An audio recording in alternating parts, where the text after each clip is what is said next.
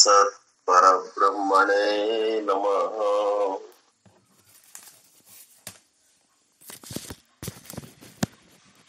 ಸಮಸ್ತ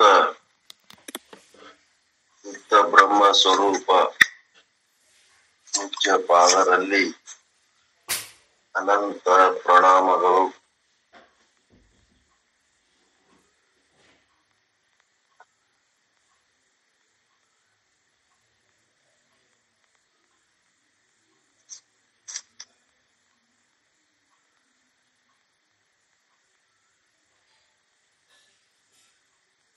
ಕೆಲವೊಬ್ಬರಿಗೆ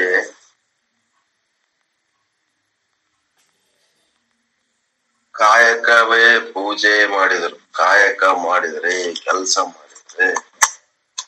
ಅದನ್ನ ಬಸವಣ್ಣನವರು ಕಾಯಕವೇ ಕೈಲಾಸ ಅಂದ್ರು. ಕೆಲವೊಬ್ಬರಿಗೆ ಪೂಜೆ ಮಾಡೋದೇ ಕಾಯಕ. ಅದನ್ನೇ ಕಾಯಕ ಮಾಡ್ಕೊಂಡು, ಅದರಿಂದ ಉಪಜೀವನ ನಡೆಸ್ಕೊಂಡು, ಅದು ಉಪಜೀವನಕ್ಕಾಗಿ ಬಳಸುವ ಕೆಲಸ ಅಲ್ಲವೇ ಅಲ್ಲದು, ಪರಮಾತ್ಮನಿಗಾಗಿ ಮಾಡುವ ಕೆಲಸ ಅದು. ಉಪಜೀವನ ಕೆಲಸ ಅಲ್ಲ ನಿಜ ಜೀವನ ಬೇರೆ ಉಪಜೀವನ ಬೇರೆ. ನಿಜ ಜೀವನ ಅಂದ್ರೆ ಪರಮಾತ್ಮನಿಗಾಗಿ, ಪರಮಾತ್ಮನಿಂದ ಪರಮಾತ್ಮನ ಸೇವೆ ಮಾಡೋದು ನಿಜ ಜೀವನ. ಅದು ಒಂದು ಬೇರೆ.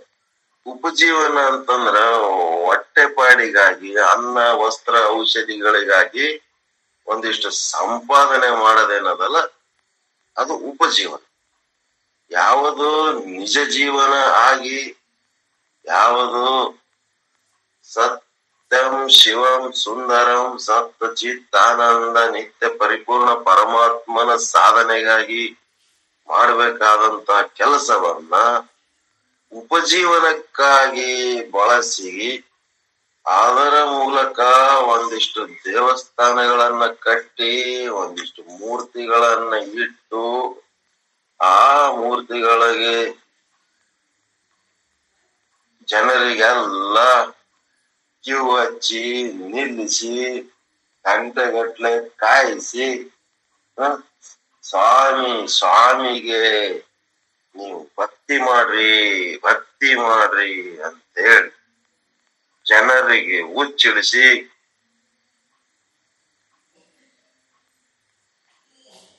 ಮುಗ್ಧ ಜನರ ಒಂದು ಶಕ್ತಿ ಸಾಮರ್ಥ್ಯಗಳನ್ನ ದುರ್ಬಳಕೆ ಮಾಡಿಕೊಂಡು ತಾವು ಹೊಟ್ಟೆ ನಡೆಸ್ತಾರಲ್ಲ, ಹೊಟ್ಟೆ ಪಾಡು ನಡೆಸ್ತಾರಲ್ಲ, ಅದಕ್ಕಿಂತ ದೊಡ್ಡ ಪಾಪ ಮತ್ತಿನ್ನೇನಿಲ್ಲ ನಿಜ ಜೀವನ, ಪೂಜೆ ಏನದ? ಅದೆಲ್ಲ ಪೂಜೆ, ಪ್ರಾರ್ಥನೆ, ಧ್ಯಾನ ಕೇವಲ ಪರಮಾತ್ಮನಿಗಾಗಿ ಮಾಡಬೇಕಾದ ಕೆಲಸ. ಅದರಿಂದ ಅನ್ನ ಉತ್ಪಾದನೆ ಮಾಡಿ ಅದರಿಂದ ದುಡ್ಡು ಉತ್ಪಾದನೆ ಮಾಡಿ, ಅದರಿಂದ ರೊಕ್ಕ ಬಂಗಾರ ಆಸ್ತಿ ಮಾಡ್ಕೊಂಡು ಮಾಡಿದ ಮಾ, ಪಾಪದ ಕೆಲಸ. ಆ ಕೆಲಸ ಉಪಜೀವನಕ್ಕಾಗಿ ಬಳಸಿದ್ದು ಅದು ಎಂದೂ ಸಾರ್ಥಕ ಆಗಂಗಿಲ್ಲ. ಅದು ಎಂದೂ ಸಾರ್ಥಕ ಆಗಂಗಿಲ್ಲ, ಅದು ಎಂದೂ ಯಶಸ್ವಿನೂ ಆಗಂಗಿಲ್ಲ. ಒಂದು ದಿವಸ ಜನರಿಗೆ ಜಾಗೃತಿ ಬಂದಾಗ ಕೈ ಬಿಟ್ಬಿಡ್ತಾರ. ಇದ್ರಾಗ ಏನು ಇಲ್ಲ, ಉಪಯೋಗ ಇಲ್ಲ ಅಂತ ಹೇಳಿ.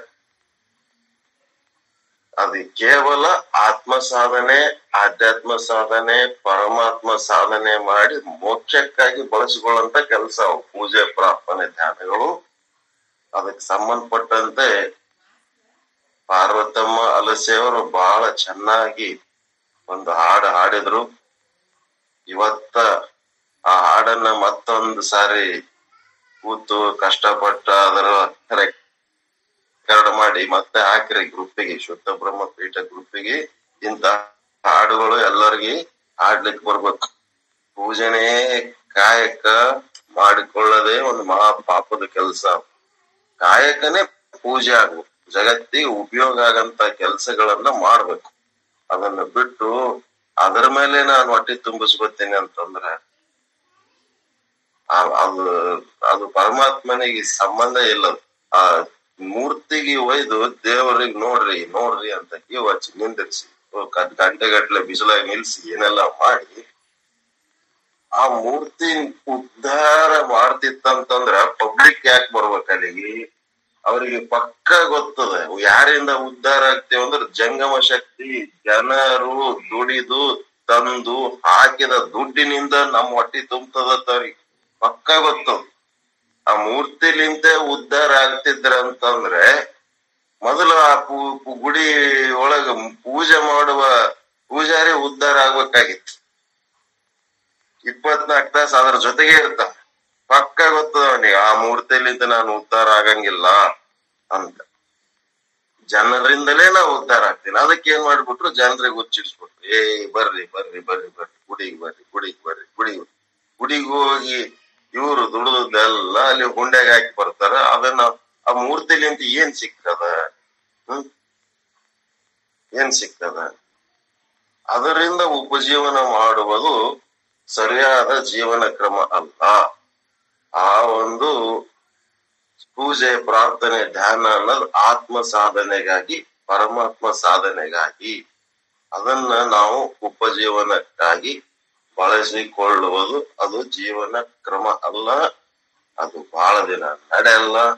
ಒಂದಿಲ್ಲ, ಒಂದು ದಿವಸ ಜನರಲ್ಲಿ ಜಾಗೃತಿ ಮೂಡಿದಾಗ ಗೊತ್ತಾಗ್ತದ, ಇದ್ರಾಗ ಏನು ಇಲ್ಲ. ನಾನು ಬರುವುದರಿಂದ ಆ ಮೂರ್ತಿಗೆ ಶಕ್ತಿ ಬರ್ಲಕ್ಕತ್ತದೆ ಹೊರತು ಆ ಮೂರ್ತಿಯಿಂದ ನನಗೇನು ಉಪಯೋಗ ಇಲ್ಲ ಅನ್ನೋದು ಯಾವಾಗ ಜಾಗೃತಿ ಬರ್ತದ, ಆ ಜಾಗೃತಿ ಉಂಟು ಮಾಡುವುದಕ್ಕೆ ಬಸವಾದಿ ಶರಣರು ಪ್ರಯತ್ನ ಮಾಡಿದ್ದು.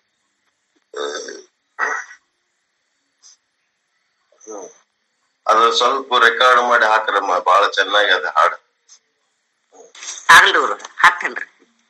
ನಿನ್ನೆ ಒಂದ್ ಹಾಕಿನ್ರಿ ಗುರು. ಹಾಕಿರಿ ಹಾಕಿರಿ ನಿನ್ನ ಇದ್ ಹಾಕಿ ಬಹಳ ಚಲೋ ಹಾಡುಗಳು ಹಾಡ್ಲಕತ್ತೀರಿ. ನಿನ್ನೆ ಕೊಕ್ಕಿ ಮೇಡಮ್ ಫಂಕ್ಷನ್ ಅನ್ನ ಸ್ವಲ್ಪ ಲೇಟ್ ಆತ್ ಮೂರುವರೆ ತಕ ಆಯ್ತ್ರಿ. ಹಾಕೋದ್ ಲೇಟ್ ಆತ್.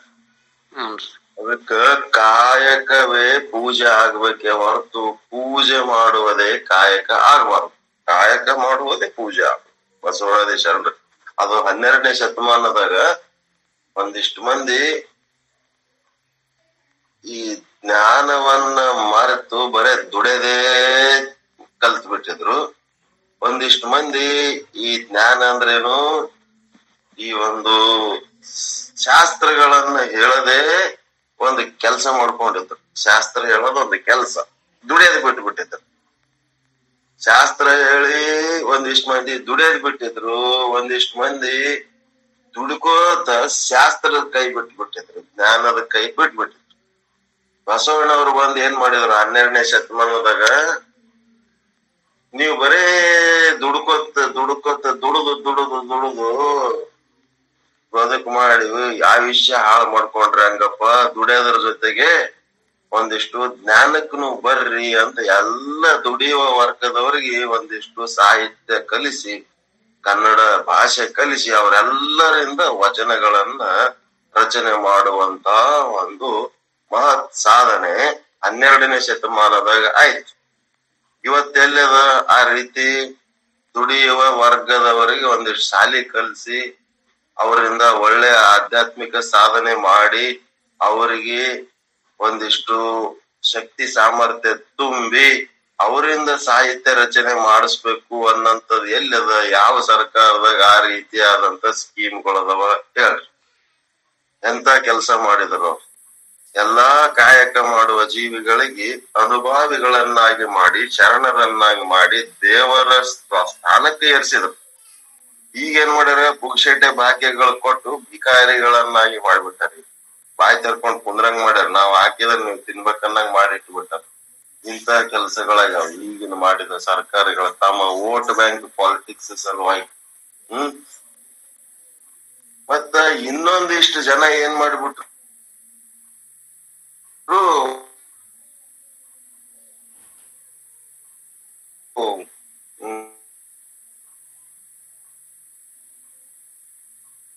ಬರೇ ಶಾಸ್ತ್ರ, ಜ್ಞಾನ.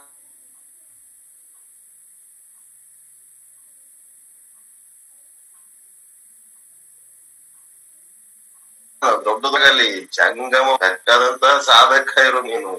ಬೆಕ್ಕದಂತ ಜಂಗಮ ಇರು ನೀನು. ಏನಿದ್ರು ನಿನ್ನನ್ನ ಗುರುತಿಸುವುದು ಕಾಯಕದ ಮೂಲಕವೇ ನೀನ್ ಏನಾದ್ರು ಒಂದು ಕೆಲಸ ಮಾಡ್ಲೇ ಬೇಕಂತೇಳಿ ತೆಳಗ್ ಜಗ್ಗಿದ್ರ ಅವ್ರಿಗೆ. ತೆಳಗ್ ಜಗ್ಗಿ ಎಲ್ಲರಿಗೂ ಕೆಲಸ ಮಾಡ್ಲಕ್ ಹಚ್ಚಿದ್ರು. ಪ್ರತಿಯೊಬ್ರು ಕೆಲಸ ಮಾಡ್ಬೇಕು. ಈಗೆಲ್ಲದ ಗುರುಗಳು ಅಂತೇಳಿ ಒಂದಿಷ್ಟು ಮಂದಿ ಏನು ಕೆಲ್ಸ ಇಲ್ಲ ಅವ್ರಿಗೆ. ದುಡಿ, ದುಡ್, ದುಡಿಮೆ ಅಂದ್ರೆ ಏನಂತ ಗೊತ್ತಿಲ್ಲ. ಸುಮ್ಮ ಆ ಕಡೆ ಹೋಗಿ ಅದು ಓಪನಿಂಗ್ ಮಾಡಿ, ಆ ಕಡೆ ಒಂದಿವ್ಸ ರೊಕ್ಕ ಜಕ್ಕೊಂಡ್ ಬರ್ತಾರೆ, ಈ ಕಡೆ ಬಂದ್, ಈ ಕಡೆ ಓಪನಿಂಗ್ ಮಾಡಿ, ಈ ಕಡೆ ಒಂದಿವ್ಸ ರೊಕ್ಕ ಜಕ್ಕೊಂಡ್ ಬರ್ತಾರೆ. ಕೊಡೋರ್ ಕೊಡ್ತಿರ್ತಾರ ತಗೊಳೋರ್ ತಗೋತಿರ್ತಾರ ಅದು ಒಂದ್ ಏನೋ ಅದು. ಸಾವಿರ ಗಟ್ಲೆ, ಲಕ್ಷ ಲಕ್ಷ ಗಟ್ಲೆ ಜನರು ಏನೂ ಮಾಡ್ಲಾರ್ದೆ ಸುಮ್ಮನೆ ಕೂತು ಊಟ ಮಾಡಕತ್ತ ದುಡಿಮೆ ಅನ್ನೋದು ಅವ್ರ ಜೀವನದಾಗ ಏನೇನೋ ಗೊತ್ತಿಲ್ಲ. ಆ ವ್ಯವಸ್ಥೆಯನ್ನ ದುಡಿಯುವ ವರ್ಗದ ಸಂಪಾದಿಸಿದ ಹಣವನ್ನ ದುಡಿಯಲಾರದವರು ಉಂಡು ಇರೋದು ಅದು ಸಮಾಜಕ್ಕೆ ಒಳ್ಳೆಯದಲ್ಲ ಎಲ್ಲರೂ ಒಂದ್ ಏನಾದ್ರೂ ಕೆಲಸ ಮಾಡ್ತಿರ್ಬೇಕು. ಕೃಷಿ ಆದ್ರೂ ಮಾಡ್ತಿರ್ಬೇಕು, ವ್ಯಾಪಾರ ಆದ್ರೂ ಮಾಡ್ತಿರ್ಬೇಕು ಮತ್ತಿನ್ನೇನಾದ್ರೂ ಸೇವೆಗಳನ್ನ ಮಾಡ್ತಾ ಇರಬೇಕು. ಮಾಡ್ತಾ ಇದ್ರೆ ಅದರಿಂದ ಅವ್ರ ಜನ್ಮ ಸಾರ್ಥಕ ಆಗ್ತದೆ. ಕಾಯಕ ಮಾಡ್ಲಾರ್ದೆ ಮೋಕ್ಷ ಇಲ್ಲ ಅಂತ ಹೇಳ್ಬಿಟ್ರು. ಕಾಯಕದಿಂದವೇ ಮುಕ್ತಿ ಅಂತ ಹೇಳ್ಬಿಟ್ರು ಬಸವಾದಿ ಹ್ಮ್. ಇವೆಲ್ಲ ಆಗಿನ ಕಾಲದ ಹನ್ನೆರಡನೇ ಶತಮಾನದ ಪೂರ್ವದಲ್ಲಿ ಏನು ಅನಿಷ್ಟ ಪದ್ಧತಿಗಳು ಇದ್ದುವೋ ಅವು ಪದ್ಧತಿಗಳು ಮತ್ತೆ ಈಗ. ಮತ್ತೆ ಬಸವಾದಿ ಶರಣರಂತ ಒಂದು ಟೀಮ್ ಮತ್ತೆ ತಯಾರಾಗಿ ಬಂದು ಅದರ ಪ್ರಭಾವ ಬೀರಿ ಮತ್ತೆ ನೆಟ್ಟಗೆ ಮಾಡ್ಬೇಕಾದಂತ ಕಾಲ ಮತ್ತೆ ಸನ್ನಿಹಿತವಾಗ್ತಾ ಇದೆ. ಅವು ಮತ್ತಂಗೆ ಆಗ್ತಾ ಇರ್ತಾವ. ನಾಯಿ ಬಾಲ ಡೊಂಕಾತಿರ್ತದ, ಮತ್ತೆ ಸೀದಾ ಮಾಡ್ತಿರ್ತಾರ, ಮತ್ತೆ ಡೊಂಕಾತಿರ್ತದ ಮತ್ ಸೀದಾ ಮಾಡ್ತಿರ್ತಾರ. ಇವ್ ಹಿಂಗೆ ನಡೆದಿರ್ತಾವ ಇವು. ಸುಮ್ ನೋಡ್ಕೊತ ಹೋಗ್ತಿರ್ಬೇಕು ಅಷ್ಟೇ ನಮ್ ಕಡೆಯಿಂದ ಏನ್ ಮಾಡ್ಲಕ್ ಸಾಧ್ಯದ ನಾವ್ ಮಾಡ್ಕೊತ ನಿಜ ಗುಣ ಆ ಹಾಡು ಕೇಳಿದ ಮೇಲೆ ಒಂದೆರಡು ಮಾತಾಡ್ಬೇಕಾಯ್ತು ನಾವು ಬರೇ ಇಂಥ ಮಾತುಗಳು ಬಹಳ ಆಡ್ಬಿಟ್ಟಿವಿ, ದೊಡ್ಡ ದೊಡ್ಡ ವೇದಿಕೆಗಳ ಮೇಲೆ ಎಲ್ಲಾ ಕಡೆ ಹೇಳಿ, ಏನೆಲ್ಲ ಮಾಡಿ ಮಾಡಿ ಸಾಕ್ ಬಿಡಪ್ಪ ಈಗ. ಸುಮ್ಮ ಆತ್ಮ ಸಾಧನೆ ಕಡಿ ಹೊಳ ಅಂತ ಹೊಳೆಬಿಟ್ಟಿವಿ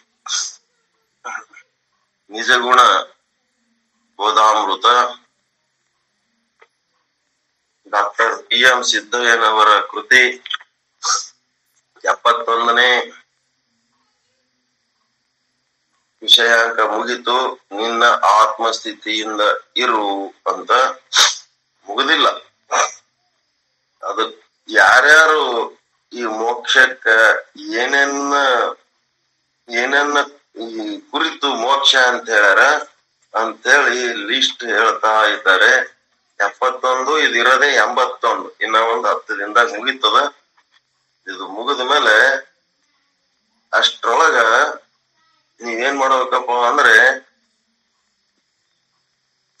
ಒಂದೊಂದು ಊರಿನವರು ಒಂದೊಂದು ಅಡ್ರೆಸ್ ಕಳಿಸ್ಬೇಕು.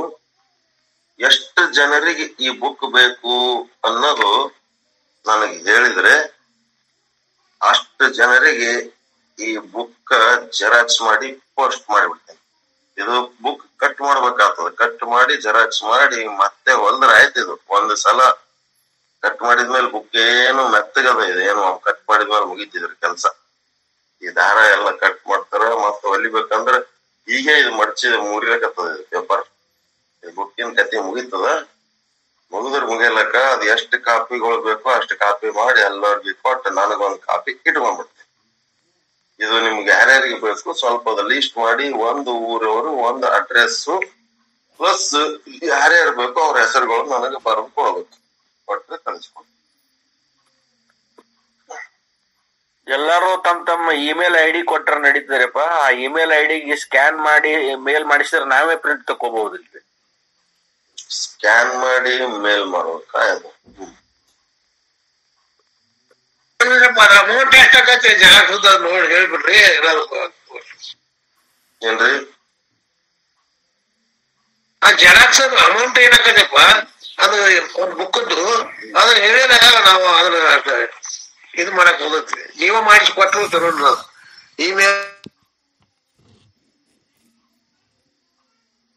ಮಾಡೋದು ಬೇಡ. ಆಯ್ತು ಆಯ್ತು. ಹೆಂಗಾರ ಮಾಡೋಣ ಇನ್ನೊಂದು ಇನ್ನೊಂದ್ ಎಂಟ್ ಹತ್ತು ದಿವ್ಸ. ಇದ್ರೊಳಗ ಬುಕ್ ಬಹಳ ಚಂದ ಇದ್ರೊಳಗ ವಿಷಯಗಳು, ಸಣ್ಣ ಸಣ್ಣ ಸಣ್ಣ ವಿಷಯಗಳು, ದೊಡ್ಡ ದೊಡ್ಡ ದೊಡ್ಡ ವಿಷಯಗಳನ್ನ ಸಣ್ಣ ಸಣ್ಣ ಸಾಲುಗಳಲ್ಲಿ ತುಂಬಿಸ್ಬಿಟ್ರಲ್ಲ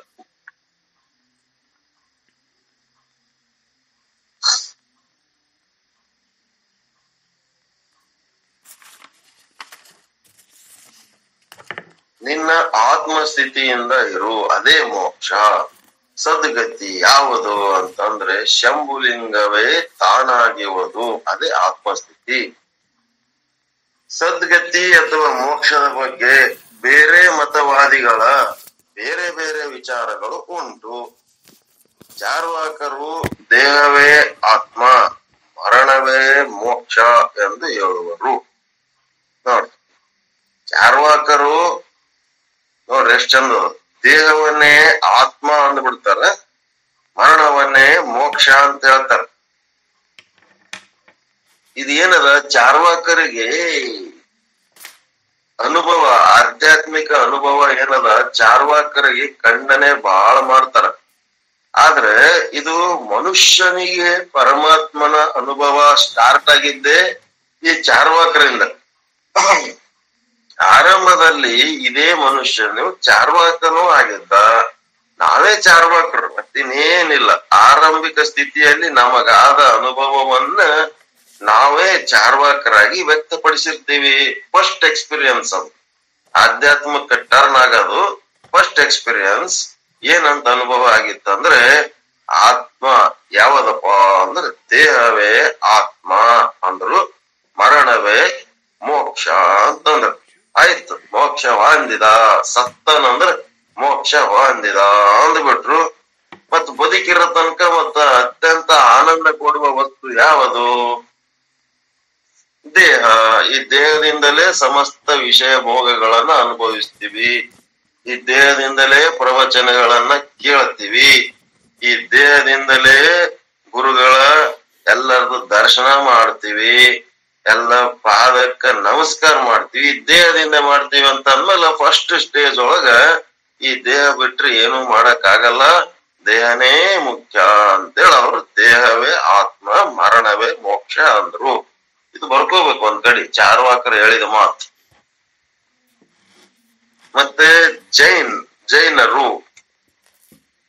ಜೈನರು ಏನ್ ಮಾಡಿದ್ರು? ಉತ್ತರೋತ್ತರ ಆಕಾಶ, ಗಮನ. ಮಾಡುವುದೇ ಮೋಕ್ಷ ಅಂತ ಹೇಳಿದರು. ಉತ್ತರೋತ್ತರ ಆಕಾಶ ಗಮನ ಮಾಡುವುದೇ ಮೋಕ್ಷ ಅಂದ್ರು. ಈ ಜೈನರೊಳಗೆ ಏನದ ಅಂದ್ರೆ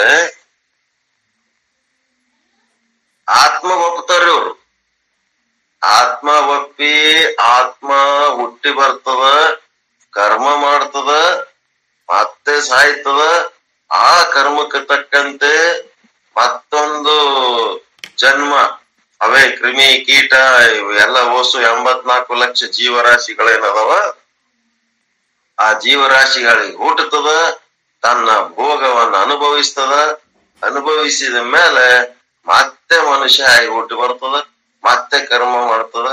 ಕೆಲವೊಂದ್ ಸಾರಿ ಕರ್ಮ ಮಾಡ್ಲಕ್ ಹುಟ್ಟಿ ಬರ್ತದ, ಕೆಲವೊಂದ್ ಸಾರಿ ಭೋಗ ಮಾಡ್ಲಕ್ ಹುಟ್ಟಿ ಬರ್ತದ. ಈ ಮನುಷ್ಯ ಆದ್ಮೇಲೆ ಎರಡು ಮಾಡ್ತಾನ. ಭೋಗನು ಮಾಡ್ತಾನ ಕರ್ಮನು ಮಾಡ್ತಾನೆ. ಈ ಉಳಿದ ಎಂಬತ್ನಾಲ್ಕು ಲಕ್ಷ ಜೀವರಾಶಿಗಳು ಭೋಗದ ಜನ್ಮಗಳು. ಅವುದ್ರ ಬಲ್ಲಿ ಕರ್ಮ ಮಾಡೋದು ಏನು ಇರಲ್ಲ. ಮನುಷ್ಯ ಜನ್ಮಕ್ಕೆ ಬಂದಾಗೆ ಅವ ಕರ್ಮ ಮಾಡ್ಬೇಕಾಗ್ತದೆ. ಅದು ನಿಷ್ಕಾಮ ಕರ್ಮ, ಸಕಾಮ ಕರ್ಮ, ಸತ್ಕರ್ಮ, ದುಷ್ಕರ್ಮ, ಏನ್ ಮಾಡಿದ್ರು ಈ ಮನುಷ್ಯ ಜನ್ಮದಾಗ ಉಳಿದ ಜನ್ಮಗಳಲ್ಲಿ ಈ ಕರ್ಮ ಮಾಡುವ ಯಾವ ಅವಕಾಶಗಳ ಇಲ್ಲ. ಅವು ಏನು ಮಾಡವ? ಏನ್ ಮನುಷ್ಯ ಜನ್ಮಕ್ಕೆ ಬಂದು ಕರ್ಮ ಮಾಡ್ಯಾವ? ಆ ಕರ್ಮವನ್ನು ಭೋಗಿಸುವುದಕ್ಕ ಉಳದ ಜನ್ಮಗಳು, ಭೋಗದ ಜನ್ಮಗಳು. ಆದ್ರೆ ಈ ಮನುಷ್ಯ ಜನ್ಮ ಹೆಂಗದ? ಕರ್ಮದ ಪ್ಲಸ್ ಭೋಗದ ಜನ್ಮ. ಎರಡು ಅದ. ಅದಕ್ಕೆ ಜೈನರು ಇದೇ ಅರ್ಥದಲ್ಲಿ ಉತ್ತರೋತ್ತರ ಆಕಾಶ ಗಮನ. ಹಿಂಗೆ ಅದು ಮಾಡಿ, ಇದು ಹುಟ್ಟಿ ಬರೋದು, ಇದು ಮಾಡಿ, ಅದಾಗಿ ಹುಟ್ಟಿ ಬರೋದು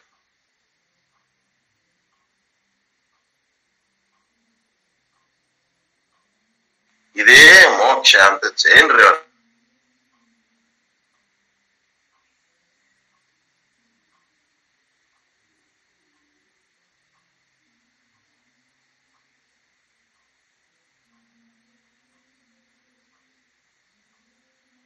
ಹೇಳ್ತಾರೆ ಜೈನರಲ್ಲಿ ಸಂಬಂಧ ಇಲ್ಲ ಅಂತಾರ? ಒಂದೇ ಸತ್ಯ ಅಂತ ಕಾನ್ಸೆಪ್ಟ್ ಇಲ್ಲ ಗೊತ್ತದ ಅವರಿಗೆ ವಿಶ್ವ ಸತ್ಯ ಗೊತ್ತಿಲ್ಲ, ಅದು ಅವರು ಪರಿಗಣಿಸುವುದೇ ಇಲ್ಲ, ಅದೇ ಜೈನ ಧರ್ಮ.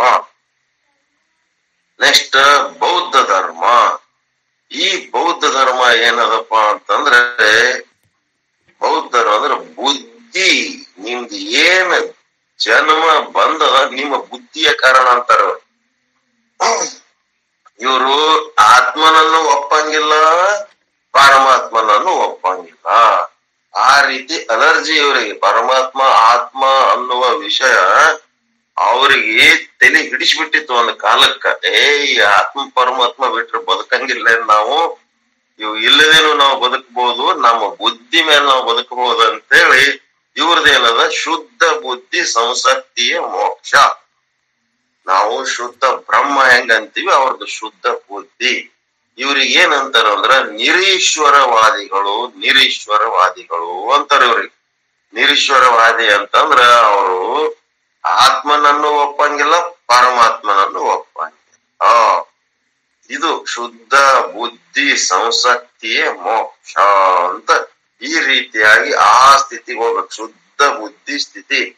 ಅದ್ರೊಳಗನು ಎಲ್ಲ ಕಾಮ, ಕ್ರೋಧ, ಲೋಭ, ಮೋಹ, ಎಲ್ಲಾ ಇವೇ ವೈದಿಕ ಹಿಂದೂ ಧರ್ಮದ ಶಬ್ದಗಳನ್ನೇ ಬಳಸ್ತಾರ ಅವ್ರು. ಹಿಂದೂ ಶಬ್ದ ಶಬ್ದ ಬಳಸಿ ಏನ್ ಮಾಡ್ತಾರಪ್ಪ ಅಂತಂದ್ರೆ ಅವೆಲ್ಲನು ಕಳ್ಕೊಂಡು ಬುದ್ಧಿ ಶುದ್ಧ ಆಗ್ತದ ಅಂತ ತಿಳ್ಕೊಂಡು ಅಶುದ್ಧ ಬುದ್ಧಿ, ಶುದ್ಧ ಬುದ್ಧಿ ಅಂತ ಹೇಳ್ತಾರೆ. ಈ ಹಿಂದೂ ಧರ್ಮದಾಗ ಏನದ? ಚಾತುರ್ವರ್ಣ ಪದ್ಧತಿ ಏನದ? ಬ್ರಾಹ್ಮಣ, ಕ್ಷತ್ರಿಯ, ವೈಶ್ಯ, ಶೂದ್ರ. ಈ ಚಾತುರ್ವರ್ಣ ಪದ್ಧತಿ ಒಳಗ ಬ್ರಾಹ್ಮಣರಿಗೆ ಮಾತ್ರ ಮಾನ್ಯತೆ, ಉಳಿದವರಿಗೆ ಸೇವಗಳ ಈ ರಕ್ಷಣೆ ಮಾಡುವವರಿಗೆ ಕ್ಷತ್ರಿಯರಂದ್ರು ಸಾಮಗ್ರಿಗಳನ್ನು ಜೀವನ ಅವಶ್ಯಕ ಸಾಮಗ್ರಿಗಳನ್ನ ತರಿಸಿಕೊಡೋರಿಗೆ ವೈಶ್ಯರಂದ್ರು ಶರೀರವನ್ನು ಬಳಸಿ ಸೇವೆ ಮಾಡೋರಿಗೆ ಶೂದ್ರರಂದ್ರು ಈ ಶೂದ್ರರಲ್ಲಿ, ಕ್ಷತ್ರಿಯರಲ್ಲಿ, ವೈಶ್ಯರಲ್ಲಿ, ಈ ಬ್ರಾಹ್ಮಣರಿಗಿಂತ ಅಪ್ಪನಂತ ಸಾಧಕರದ ಬೇಕಾದಷ್ಟು ಸಾಧನೆ ಮಾಡಿದವರು, ಆಧ್ಯಾತ್ಮ ಸಾಧಕರದಾರ. ಅವ್ರು ಏನಿದ್ರು ಚಾತುರ್ವರ್ಣ ಪದ್ಧತಿ, ಹಿಂದೂ ಧರ್ಮದ ಚಾತುರ್ವರ್ಣ ಪದ್ಧತಿ ಪ್ರಕಾರ ಆ ಬ್ರಾಹ್ಮಣರವ್ರ ಆಗ್ಲಿಕ್ಕೆ ಸಾಧ್ಯನೇ ಇಲ್ಲ. ಬ್ರಾಹ್ಮಣ ಆಗ್ಬೇಕಾದ್ರ ಮತ್ತೆ ಸತ್ತು ಹುಟ್ಟಿ ಬಂದ್ರ ಮಾತ್ರ ಅವ ಬ್ರಾಹ್ಮಣ ಆಗ್ತಾನ ಸಾಧನೆಯ ಮೂಲಕ ಅವ ಬ್ರಾಹ್ಮಣ ಆಗ್ಲಕ್ ಸಾಧ್ಯನೇ ಇಲ್ಲ ಅನ್ನೋದು ಇದು ಹಿಂದೂ ಪದ್ಧತಿ ಒಳಗ ಒಮ್ಮ ಹುಟ್ಟಿದ ಬ್ರಾಹ್ಮಣನಾಗಿ ಅಂತಂದ್ರೆ ಅವನು ಬ್ರಾಹ್ಮಣ ಮತ್ತೆ ಕ್ಷತ್ರಿಯ ವೈಶ್ಯ ಶೂದ್ರರಾಗಿ ಹುಟ್ಟಿದ್ರೆ ಅವ್ರು ಬೇಕಾದಷ್ಟು ಬ್ರಹ್ಮಜ್ಞಾನಿಗಳಾಗಿದ್ರು ಸಹಿತ ಅವರೆಂದು ಬ್ರಾಹ್ಮಣರಂತೆ ಅವರಿಗೆ ಪರಿಗಣಿಸಂಗಿಲ್ಲ ಅಂತ ಹಿಂದೂ ಧರ್ಮದ ಒಂದು ಪದ್ಧತಿ. ಪದ್ಧತಿಗಳು ಹಾಕೊಂಡಾರ. ಏನಾಗ್ಬಿಡ್ತದ ಅಂತಂದ್ರೆ ಅವ್ರಕ್ಕಿಂತ ಜಬರ್ದಸ್ತ್ ಬ್ರಹ್ಮಜ್ಞಾನ ಸಾಧನೆ ಮಾಡಿದವರಿಗೆ ಅವರು ಕ್ಷತ್ರಿಯರು, ವೈಶ್ಯರು, ಶೂದ್ರರು ಅಂತೇಳಿ ಪರಿಗಣಿಸುವುದರಿಂದ ನಮ್ಮನ್ನ ಬ್ರಾಹ್ಮಣರ ಸಮಾನವಾಗಿ ಪರಿಗಣಿಸುವುದಿಲ್ಲ ಅನ್ನುವುದರ ಸಲುವಾಗಿ ಏನಾಯ್ತು? ಆ ಹಿಂದೂ ಧರ್ಮದಿಂದ ಗುಂಪು ಗುಂಪಾಗಿ ಜನರು ಹೊರಗೆ ಹೋಗ್ಬಿಟ್ರು. ಜೈನರಂತೂ ಆದ್ರು, ಬೌದ್ಧರಂತೂ ಆದ್ರು, ವೀರ ಶೈವರಂತೂ ಆದ್ರು, ಲಿಂಗಾಯತರಂತೂ ಆದ್ರು ಮತ್ತಿನಿ ಏನೇನು ಧರ್ಮಗಳು ಬೇರೆ ಬೇರೆ ಹಿಂದೂ ಧರ್ಮದ ಮೂಲ ಸಾಹಿತ್ಯವನ್ನೇ ಬಳಸಿಕೊಂಡು ಅವರ ಆಧ್ಯಾತ್ಮ ಸಾಧನೆ, ಅವರ ಅನುಭವಗಳನ್ನ ಎತ್ತರಿಸಿಕೊಂಡು ಅವರು ಮೇಲೆ ಹೋಗಿ ಹಿಂದೂ ಧರ್ಮದಿಂದ ಭಿನ್ನ ಭಾವ ತಾಳುವಂತ ಒಂದು ಸ್ಥಿತಿ ಪ್ರಾಪ್ತಿ ಆಯ್ತು ಅದಕ್ಕೆ ಇವು ಕೆಲವೊಂದು ಮಾರ್ಪಾಡುಗಳನ್ನು ಮಾಡಬೇಕು. ಆಧ್ಯಾತ್ಮ ಸಾಧನೆಯಲ್ಲಿ ಯಾರು ಎತ್ತರಕ್ಕಿದ್ದಾರೋ ಅವರಿಗೆ ಜ್ಞಾನದಲ್ಲಿ ಸಾಧನೆಯಲ್ಲಿ ಯಾರು ಎತ್ತರ ಇದ್ದಾರೋ ಅವರನ್ನ ಬ್ರಾಹ್ಮಣರಂತ ಪರಿಗಣಿಸುವಂತ ವ್ಯವಸ್ಥೆ ಹಿಂದೂ ಧರ್ಮದಾಗಿ ಅಲ್ಲಿ ಏನಾಗಬೇಕು ಎಲ್ಲರಿಗೆ ಸಾಹಿತ್ಯ ಅಧ್ಯಯನ ಮಾಡುವ ಅವಕಾಶ. ಏ, ಇವೆಲ್ಲ ಸಾಹಿತ್ಯ? ಬೇರೆ ಧರ್ಮದವರು ಕೇಳಿದ್ರೆ ಹೇಳಿದ್ರೆ ಅವ್ರಿಗೆ ಪಾಪ ಬರ್ತದ, ನರಕಕ್ಕೆ ಹೋಗ್ತಾರ, ಇಂಥವೆಲ್ಲ ಇದ್ದದ್ದಕ್ಕೆ ಮತ್ತ ದ್ವೈತ ಅದ್ವೈತ ಸೇ- ಇವೆಲ್ಲ ವಿಶಿಷ್ಟ ಅದ್ವೈತ ಎಲ್ಲಾನು ಮಾಡ್ಯಾರ, ಎಲ್ಲಾನು ಕೊಟ್ಟಾರ. ಆದ್ರ ಜನರನ್ನ ಗೌರವದಿಂದ ನಡೆಸ್ಕೊಳ್ಳುವಂತ ವ್ಯವಸ್ಥೆ ಅದ್ರೊಳಗೆ ಇಲ್ಲ ಅಲ್ಲಿ ಬರೇ ಒಂದೇ ವರ್ಗದವರಿಗೆ ಗೌರವ, ಉಳಿದವರಿಗೆ ಎಲ್ಲ ಸಮಸ್ಯೆ ಅದ. ಯಾವಾಗ ನಮಗ್ ಮರ್ಯಾದೆ ಇಲ್ಲ ಅಂದ್ಮೇಲೆ ಹೊರ ಹೋಗ್ತಾರ ಅಷ್ಟೇ. ಮರ್ಯಾದೆ ಇದ್ದಲ್ಲಿ ಹೋಗ್ತಾರ, ಇಲ್ಲ ತಮ್ ತಮ್ ವ್ಯವಸ್ಥೆ ತಾವ್ ಮಾಡ್ಕೊತಾರ. ಇಲ್ಲಿ ಹೊರಗ್ ಹೋಗ್ಲಕ್ನು ಬಿಡಂಗಿಲ್ಲ, ಒಳಗ್ನು ಚಂದ ಇಟ್ಕೊಳಂಗಿಲ್ಲ. ಈ ಒಂದು ಉಸಿರುಗಟ್ಟು ವಾತಾವರಣ ಇದ್ದದಕ್ಕ ಹಿಂದೂ ಧರ್ಮ ಯಾವಾಗ್ಲೂ ಡೋಲಾಯಮಾನವಾಗಿ ಒದಾಡ್ತಿರ್ತಾರ ತಿಳಿದವ್ರಿಗೆ ತಿಳಿತು, ತಿಳಿಲಾರದವ್ರಿಗೆ ತಿಳಿದಿಲ್ಲ. ಹಿಂಗೆ ನಡೆದದದು. ಏನಂದ್ರೂ ಆ ಸನಾತನ ಧರ್ಮದಲ್ಲಿ ಆದಿ ಕಾಲದ ಋಷಿ ಮುನಿಗಳ ಆಶೀರ್ವಾದ ಅದದು ಆ ಆಶೀರ್ವಾದ ಇದ್ದು ಅವ್ರು ಮಾಡಿದ ಆಧ್ಯಾತ್ಮ ಸಾಧನೆ ಯಾರ್ಯಾರು ಮಾಡ್ತಾರ ಮಾಡಿಲ್ಲ ಅಂದ್ರು ಸಹಿತ ಈ ದೇಶದಲ್ಲಿ ಹಿಂದೂಗಳಾಗಿ ಹುಟ್ಟಿದ್ದಕ್ಕ ಅವ್ರ ಆಶೀರ್ವಾದ ಅದ.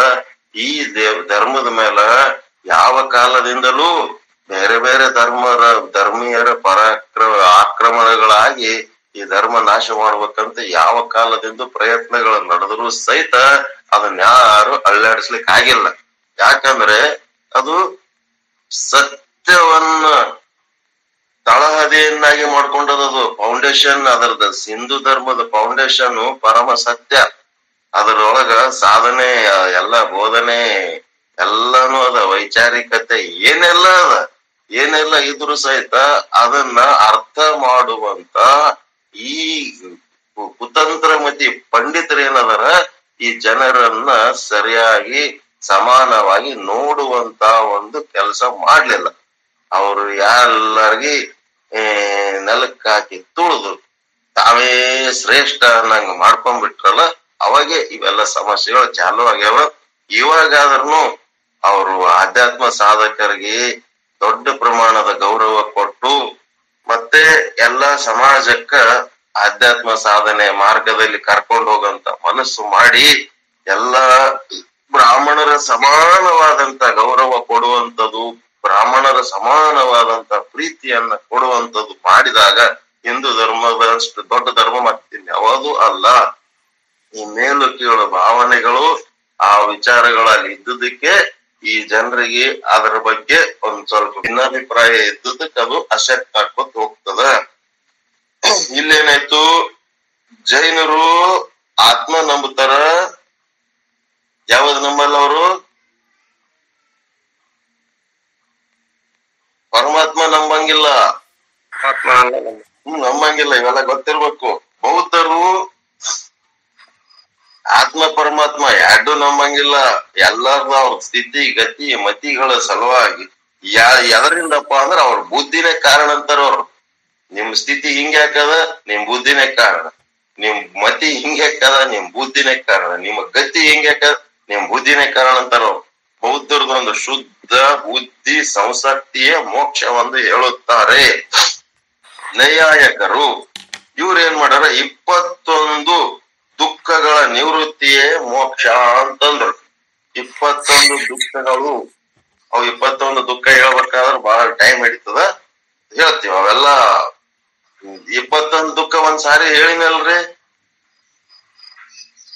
ಮರ್ತ್ ಬಿಟ್ಟಿರೇನು ನೈಯಾಯಕರ ಇಪ್ಪತ್ತೊಂದು ದುಃಖಗಳು ಯಾವುವು ಅನ್ನೋದು ಒಂದ್ ಲಿಸ್ಟ್ ಕೊಟ್ಟಿನಿ, ಮತ್ತೊಂದ್ ಸಾರಿ ಹೇಳ್ತೀನಿ. ಯಾಕಂದ್ರೆ ಇಲ್ಲಾಂದ್ರೆ ಇಲ್ಲೇ ನಿಂತು ಬಿಡ್ತದೆ ಇಪ್ಪತ್ತೊಂದು ದುಃಖ ಯಾವ್ದಾರ ಒಂದು ದುಃಖ ಹಿಡಿದ್ರೆ ಸಾಕು ಕತ್ತಿ ಮಾತು ಬೇರೆ ಆಗ್ಬಿಡುತ್ತೆ. ಅದಕ್ಕೆ ಸಾಂಖ್ಯರು ಏನ್ ಮಾಡ್ತಾರ?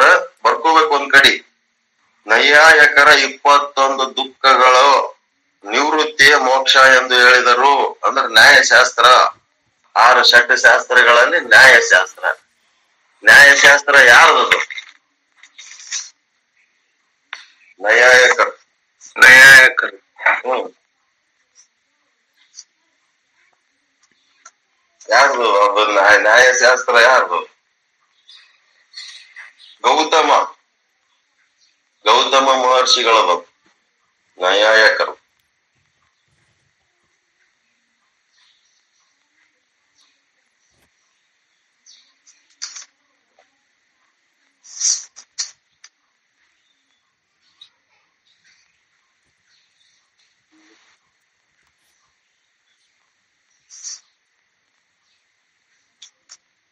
ಮತ್ತೇನು ಇಪ್ಪತ್ತೊಂದು ದುಃಖಗಳು. ಇವ್ರದೇನದ?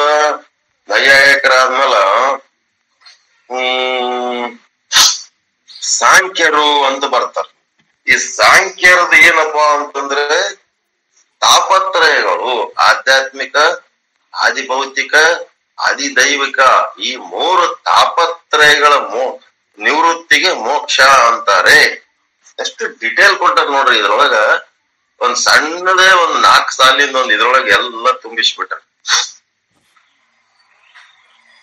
ಮತ್ ನೆಕ್ಸ್ಟ್ ಏನ್ ಮಾಡ್ಯಾರ? ಪಾತಂಜಲಿ ಯೋಗ. ಈಗ ನೋಡ್ರಿ ಅಗ್ದಿ ಫೇಮಸ್ ರಾಮದೇವ್ ಬಾಬಾ ಇದ್ರಾಗ. ಈ ಪಾತಂಜಲಿ ಯೋಗದಾಗ ಏನ್ ಮಾಡ್ಯಾರ?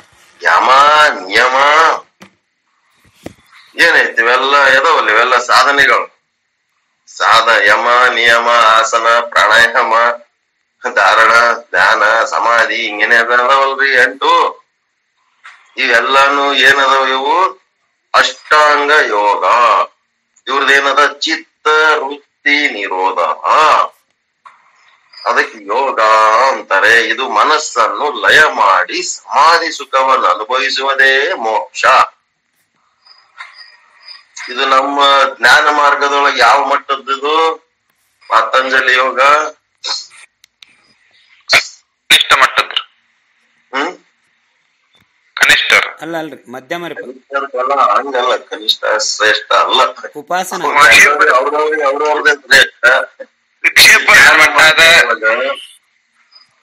ವಿಕ್ಷೇಪ ದೋಷ ನಿವಾರಣೆ ವಿಕ್ಷೇಪ ದೋಷ ನಿವಾರಣೆ.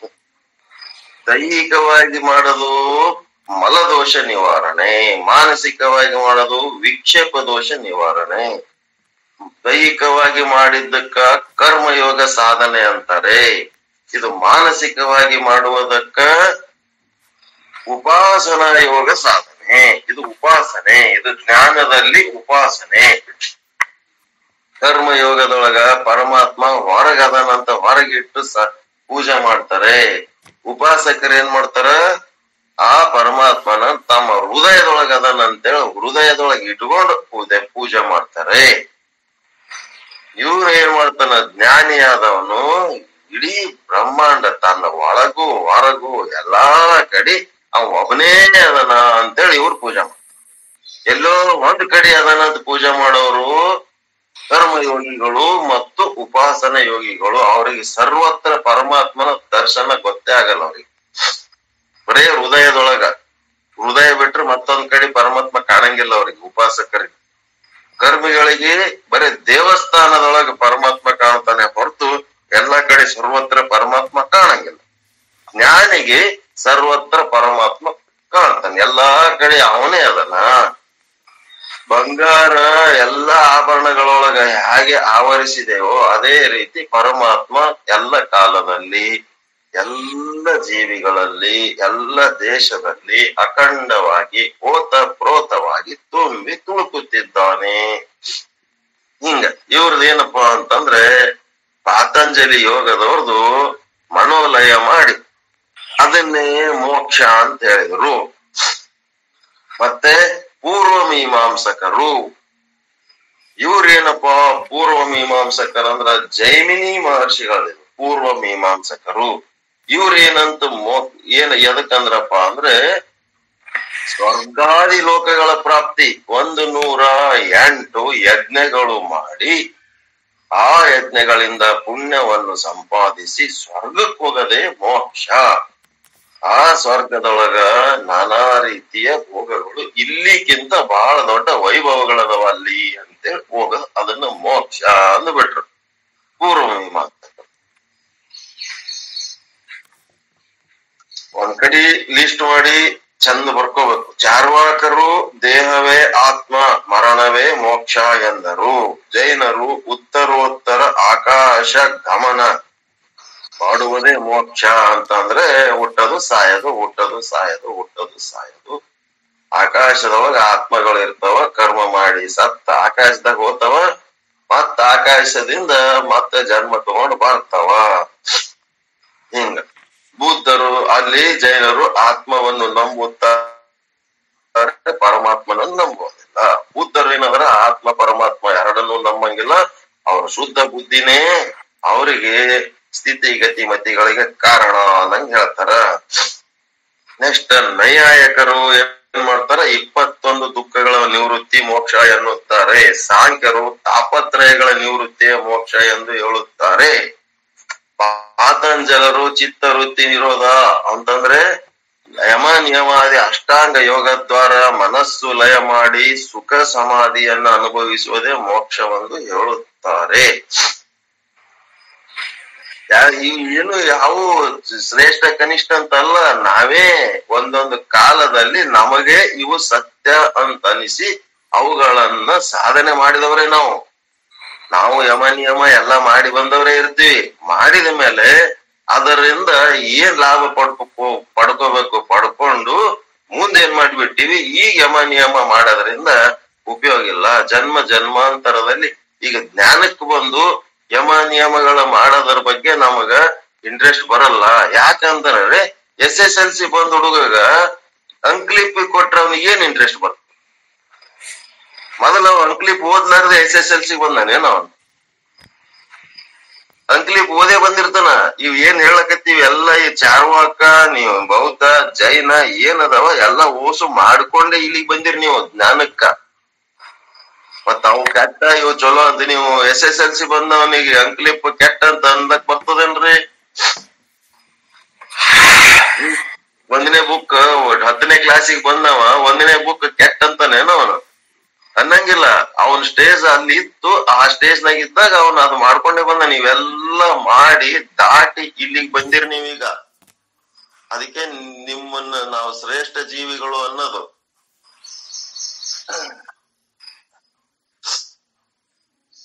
ಮನಸ್ಸನ್ನ ಲಯ ಮಾಡಿ, ಸುಖ ಸಮಾಧಿ ಸಮಾಧಿ ಸುಖವನ್ನು ಅನುಭವಿಸುವುದೇ ಮೋಕ್ಷ ಅಂತೇಳಿ ಯಾರು?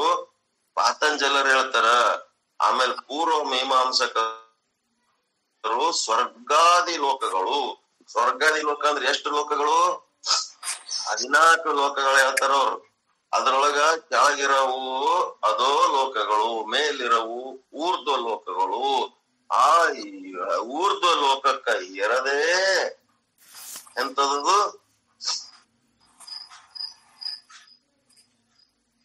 ಮೋಕ್ಷ ಅಂತ ಹೇಳ್ತಾರೆ ಊರ್ಧ್ವ ಲೋಕಕ್ಕೆ ಅದಕ್ಕೆ ಬಸವಣ್ಣವರು ಈ ಒಂದು ಪೂರ್ವ ಮೀಮಾಂಸಕರ ಎಂತದು ಸಿದ್ಧಾಂತವನ್ನ ಒಂದೇ ಒಂದು ವಚನದ ಖಂಡನೆ ಮಾಡ್ಯಾರ.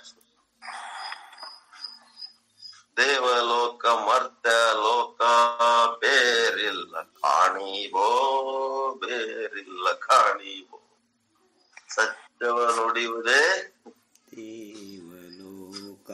ದೇವಲೋಕ ಮಿಥ್ಯವ ನುಡಿಯುವುದೇ ಮರ್ತ್ಯಲೋಕ ಆಚಾರವೇ ಸ್ವರ್ಗ ಅನಾಚಾರವೇ ನರಕ. ಒಂದೇಟಿಗೆ ಹಾಕಿ ಕಲಾಸ್ ಮಾಡಿಬಿಟ್ಟಾರ ಈ ಪೂರ್ವ ಮೀಮಾಂಸಕರ ಜೈಮಿನಿ ಗುರುಗಳು. ಒಂದೇ ವಚನ ಸಾಕ ಅವ್ರಿಗೆ. ಈ ಇದಕ್ಕೆ ಅರ್ಥ. ಯಾ ಸ್ವರ್ಗ ಇಲ್ಲ ನರಕ ಇಲ್ಲ. ಅಯ್ಯ ಎಂದರೆ ಸ್ವರ್ಗ ಎಲವೋ ಎಂದರೆ ನರಕ. ಹೆಂಗ ತಿಳ್ಕೊತೀರಿ? ತಿಳ್ಕೊರಿ ಅಂತ ಖಂಡನೆ ಮಾಡಿಬಿಟ್ರ ಅದ್ರೊಳಗ. ವಿಚಾರ ಮಾಡಿದಲ್ಲಿ ಎಲ್ಲಾ ಮತವಾದಿಗಳ ಮೋಕ್ಷ ವ್ಯಾಖ್ಯೆಗಳು ತಪ್ಪಾಗಿವೆ. ನೋಡ್ರಿ ಹೆಂಗದ. ನಿಜಗುಣ ಶಿವಯೋಗಿಗಳು ವಿಚಾರ ಮಾಡಿ ನೋಡಿ, ಇಲ್ಲಿ ತನಕ ಏನ್ ಪಟ್ಟಿ ಕೊಟ್ಟಿವಿ, ಇವರೆಲ್ಲರದು ಮೋಕ್ಷದ ವ್ಯಾಖ್ಯೆಗಳು ತಪ್ಪು. ಯಾಕಂದ್ರೆ ಅವು ಶ್ರುತಿ ಸಮ್ಮತವಾಗಿಲ್ಲ ಅವು ವೇದಗಳಲ್ಲಿ ಈ ರೀತಿ ಹೇಳೇ ಇಲ್ಲ. ವೇದಕ್ಕೆ ದೂರ ಅದವವು ಶ್ರುತಿಗೆ ದೂರವಾದ ಇವೆಲ್ಲ ಜ್ಞಾನಕ್ಕೆ ದೂರವಾದಂತ ವಿಚಾರಗಳು. ಶ್ರುತಿ ವಿರಹಿತವಾದ ಮತವು ತಾನು ಉಳಿಯುವುದೇ ಚಂದ. ಅದಕ್ಕೆ ಅವುಗಳಿಂದ ತಾನು ದೂರ ಇರಬೇಕು. ಈ ಸಿದ್ಧಾಂತಗಳು ಇಲ್ಲಿ ತನ ಏನ್ ಹೇಳಿವಿ? ಅವುಗಳಿಂದ ತಾನು ದೂರ ಉಳಿಬೇಕು. ಶ್ರುತಿ ಸಮ್ಮತವಾದಂಥದು ವೇದಾಂತ ಏನ್ ಹೇಳ್ತದ, ಅದೇ ಚಂದ. ಅದರೊಳಗೆ ನಾವು ಹೋಗಿ ನಾವು ಆತ್ಮ ಸಾಧನೆ ಮಾಡಬೇಕು. ಇನ್ನು ವೇದಾಂತ ಹೇಳುವಂತೆ ಜೀವನು ಅಜ್ಞಾನದಿಂದ ತನ್ನ ಆತ್ಮ ಸ್ವರೂಪವನ್ನು ಮರೆಯುವುದೇ ಬಂದ. ಜ್ಞಾನದಿಂದ ಅರಿಯುವುದೇ ಮೋಕ್ಷ. ಮರೆವೇ ಬಾಂಧ ಅರಿವೇ ಮೋಕ್ಷ. ಇದು ಯಾರ್ದಿದು? ಜ್ಞಾನ ವೈವೇದದಲ್ಲಿ ಹೇಳಿದ್ದು ಇದು ಅದರ ಮಾರ್ಗ. ಆದರೆ ಗುರು ಶಾಸ್ತ್ರ ಬೋಧೆಯಿಂದ ಆತ್ಮಜ್ಞಾನ ಪಡೆದು ಅದರಿಂದ ತನ್ನ ಸ್ವರೂಪಕ್ಕೆ ಆವರಣ ಮಾಡಿದ ಅನಾದಿ ಅಜ್ಞಾನ ಅಳೆದು ದೇಹಾದಿಗಳ ಭ್ರಾಂತಿ ತನ್ನ ಅಖಂಡ ಸಚ್ಚಿದಾನಂದ ಅದ್ವಯ ಆತ್ಮ ಅಥವಾ ಶಂಭುಲಿಂಗ ಸ್ವರೂಪ ಸ್ಥಿತಿಯಿಂದ ಇರುವುದೇ ಮೋಕ್ಷ. ನೋಡಿ, ಮೋಕ್ಷದ ಅರ್ಥ ಈ ಸುವರ್ಣಾಕ್ಷರಗಳಲ್ಲಿ ಬರೀಬೇಕು ಅಂತದೇ ಜೀವನು ಅಜ್ಞಾನದಿಂದ ತನ್ನ ಆತ್ಮ ಸ್ವರೂಪವನ್ನ ಮರೆಯುವುದೇ ಬಂಧ. ಅಂದಾರೆ ಬರೀರಿ, ಬಂಧನ ಅಂತಾರೆ ಬರೀ ಮತ್ತೆ ಅದೇ ಜೀವ ಜ್ಞಾನದಿಂದ ಅರಿಯುವುದೇ ಮೋಕ್ಷ. ಒಂದದ ನೋಡ್ರಿ, ಕಂಚು ಬೇರೆ ಎಲ್ಲ ಕನ್ನಡಿ ಬೇರೆ ಎಲ್ಲ ಕೊಂಕಡಿ ಕಡೆ ಬಸವಣ್ಣವ್ರ ವಚನ ಅದ ಅದೇ ಜೀವ, ಮರ್ತದಕ್ಕ ಜೀವ ಆಗ್ಯನ, ಅರಿತಡೆ ಶರಣ, ಮರೆತಡೆ ಮಾನವ. ಹಿಂಗೇನಾದ್ರು ನೋಡ್ರಿ ಕುಂಬುವ ಬಟ್ಟಲ ಬೇರಲ್ಲ, ನೋಡುವ ದರ್ಪಣ ಬೇರೆಲ್ಲ ಒಂದ್ ವಚನ ಅದ ನೋಡ್ರಿ ಅದೇ. ಅದ. ಆ ವಚನದಾಗ ಈ ಅರ್ಥ ಅದ. ಅದೇ ಜೀವರು, ಎಲ್ಲಾ ಜೀವರು. ಮರ್ತದ್ದಕ್ಕ ತನ್ನ ಸ್ವಸ್ವರೂಪ ಮರ್ತಿದ್ದಕ್ಕೆ ಏನಾಗ್ಯದ? ಏನದ ಒಂದು ಸ್ವರೂಪ ಅಂತಂದ್ರ, ನಿಮ್ಮ ಸ್ವಸ್ವರೂಪ ನಿಮ್ಮನ್ನ ನೀವು ಮರ್ತೀರಿ ಅಂದ್ರೆ ಏನ್ ಮರ್ತೀರಿ ಅಂದ್ರೆ ಅಖಂಡ ಸಚ್ಚಿದಾನಂದ ಅದ್ವಯ ಆತ್ಮ. ಅಖಂಡವಾಗಿ ಎಲ್ಲಾ ದೇಶ, ಎಲ್ಲಾ ಕಾಲ, ಎಲ್ಲಾ ವಸ್ತು, ಎಲ್ಲಾ ವ್ಯಕ್ತಿಗಳೊಳಗ ಅಖಂಡವಾಗಿ ತುಂಬಿ ತುಳುಕುತ್ತಾ ಇರುವಂತ ಸಚ್ಚಿದಾನಂದ ಆತ್ಮ. ಅದು ತಾನು ಆಗಿದ್ದಾನೆ ಅಥವಾ ಶಂಭುಲಿಂಗ ಸ್ವರೂಪ ಸ್ಥಿತಿ ಅಂತ ಇದಕ್ಕ ಮೋಕ್ಷ ಅಂತಾರ. ಅದನ್ನು ಮರ್ತಾನ ಅವನು. ಅದನ್ನ ಮರ್ತ ಏನಾಗ್ಬಿಟ್ಟನ? ಒಂದು ಸಣ್ಣ ಶರೀರದಾಗ ಸೇರಿ ಈ ಮೂರುವರಿ ಮಳ ಶರೀರನೇ ನಾನದೀನಿ ಅಂತ ತಿಳ್ಕೊಂಡು ಯಾಕೆ ತಿಳ್ಕೊಂಡ ಅಂತಂದ್ರೆ ಅವನಿಗೆ ಆವರಣ ದೋಷ ಆಗ್ಯದ. ಅವನಿಗೆ ಆ ಆವರಣ ದೋಷ ತೆಗೆಯೋದಕ್ಕ ಗುರು ಮತ್ತು ಶಾಸ್ತ್ರ ಬೋಧೆಯ ಅವಶ್ಯಕತೆ ಅದ. ಕಣ್ಣಿಗೆ ಪರಿ ಬಂದಿರ್ತದ ನೋಡ್ರಿ, ಕಣ್ಣಿಗೆ ಪರಿ ಬಂದದ ಡಾಕ್ಟರ್ ಏನ್ ಮಾಡ್ಬಿಡ್ತಾನ? ಆ ಕಣ್ಣಿಗೆ ಪರಿ ಬಂದದಕ್ಕ ಒಂದಿಷ್ಟು ಪರಿ ತೆಗೆದು ಒಂದು ಚಂದ ಸ್ವಚ್ಛಂದ ಲೆನ್ಸ್ ಹಾಕಿ ಒಂದಿಷ್ಟು ಔಷಧ ಕೊಟ್ಟು ಬಿಡ್ತಾನ. ಆಯ್ತು ಚಂದ ಕಾಣ್ಲಕತ್ತಿ ಬಿಡ್ತಾವ. ನಾವೇನ್ ತಿಳ್ಕೊಂಡ್ಬಿಡ್ತೀವಿ ಏ, ಎಪ್ಪತ್ತೈದು ಎಂಬತ್ತು ವರ್ಷ ಮುದುಕ ಕಟ್ಟಿ ಮೇಲೆ ಕುಂತಾನ?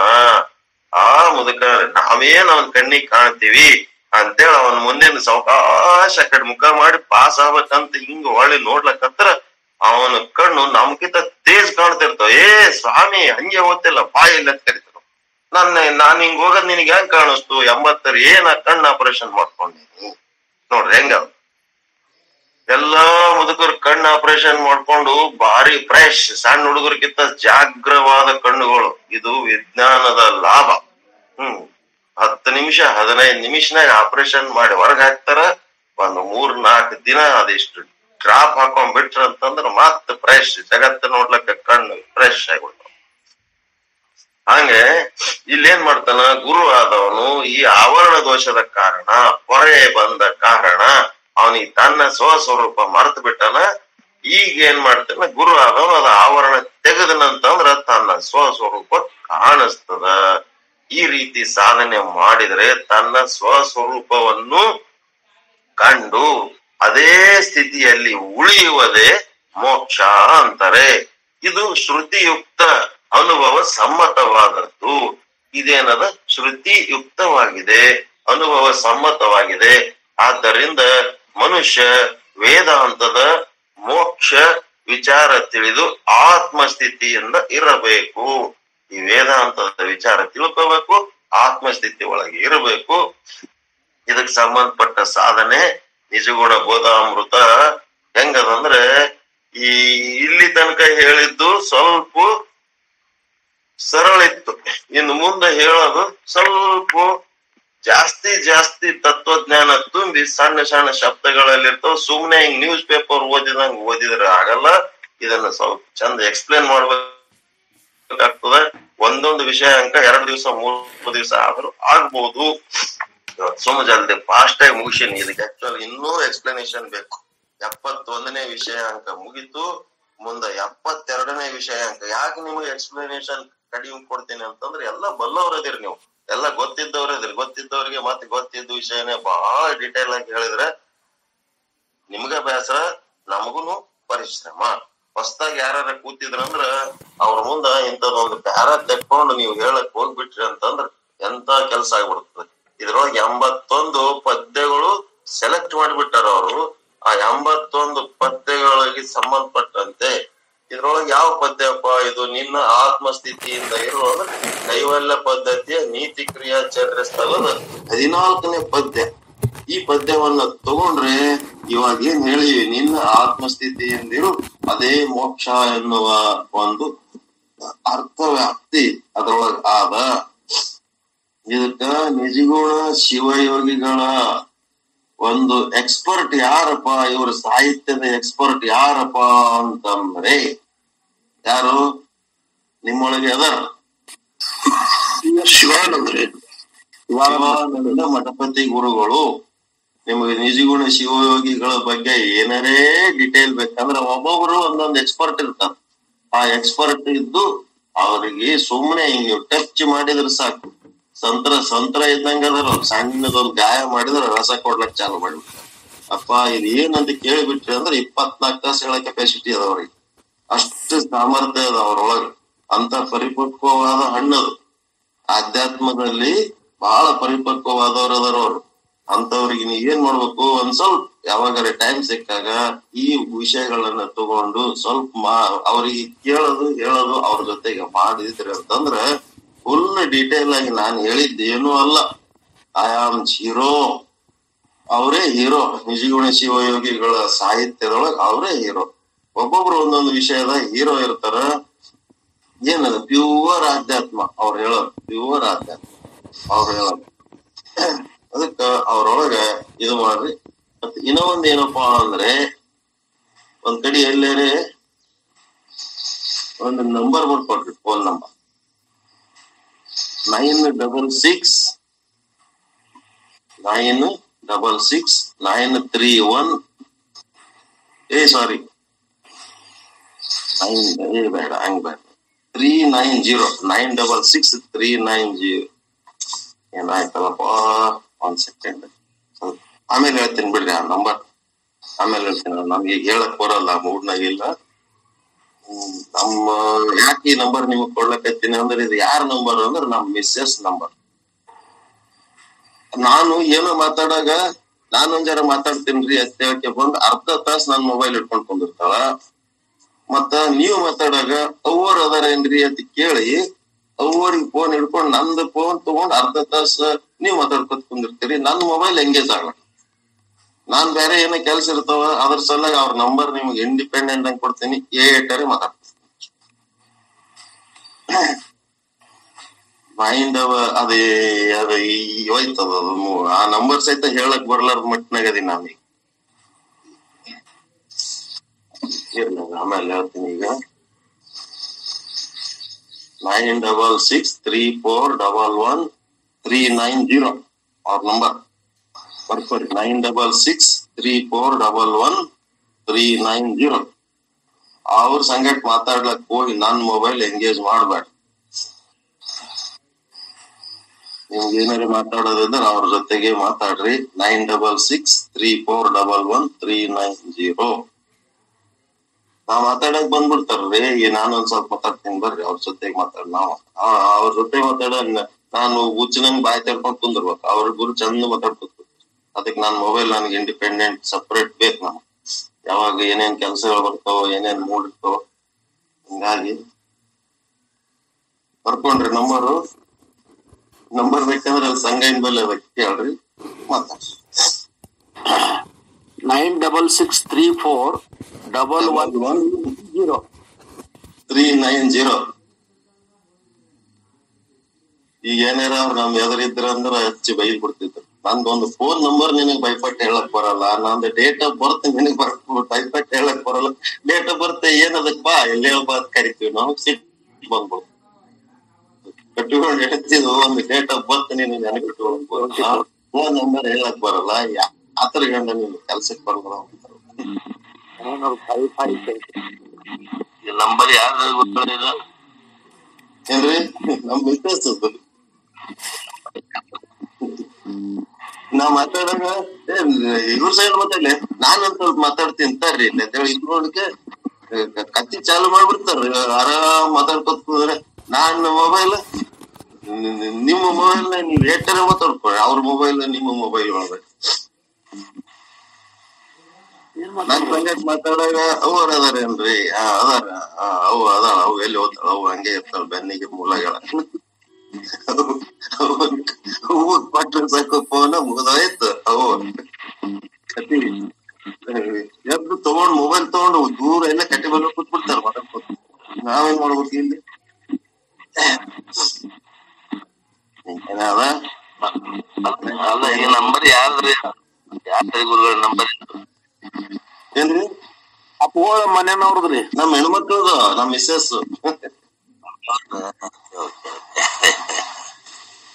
ಈಗ ನಗು ಬರ್ಲಕ್ಕ ಈಗ ಅರ್ಥ ಆಯ್ತು ಅಂತ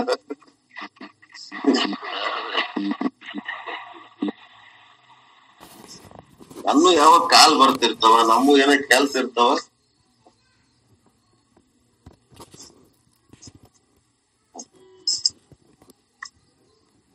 nine double six three four double one three nine zero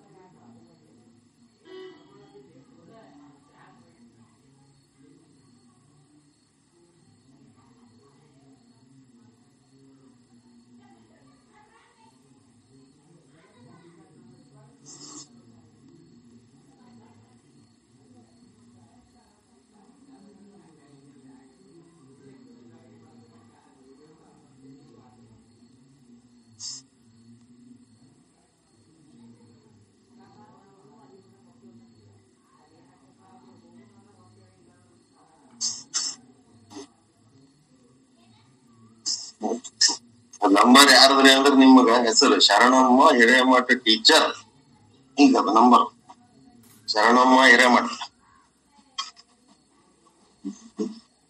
ಹೆಸರು ಹೆಸರು ಬೇಕಾಗ್ಯದಲ್ಲ ನಿಮಗ ಅದಕ್ಕೆ. ಶರಣಮ್ಮ ಹಿರೇಮಠ. ಇನ್ನೊಂದ್ ಬರೀ ಅಂದ್ರೆ ಇಲ್ಲ, ನಮ್ಮ ಅಪ್ಪಂದೇ ಹೆಸರು ಬರ್ಕೊತೀನಿ ನಾ ಬರ್ಕೊ ಬರ್ಕೊ ಆಯ್ತಾ.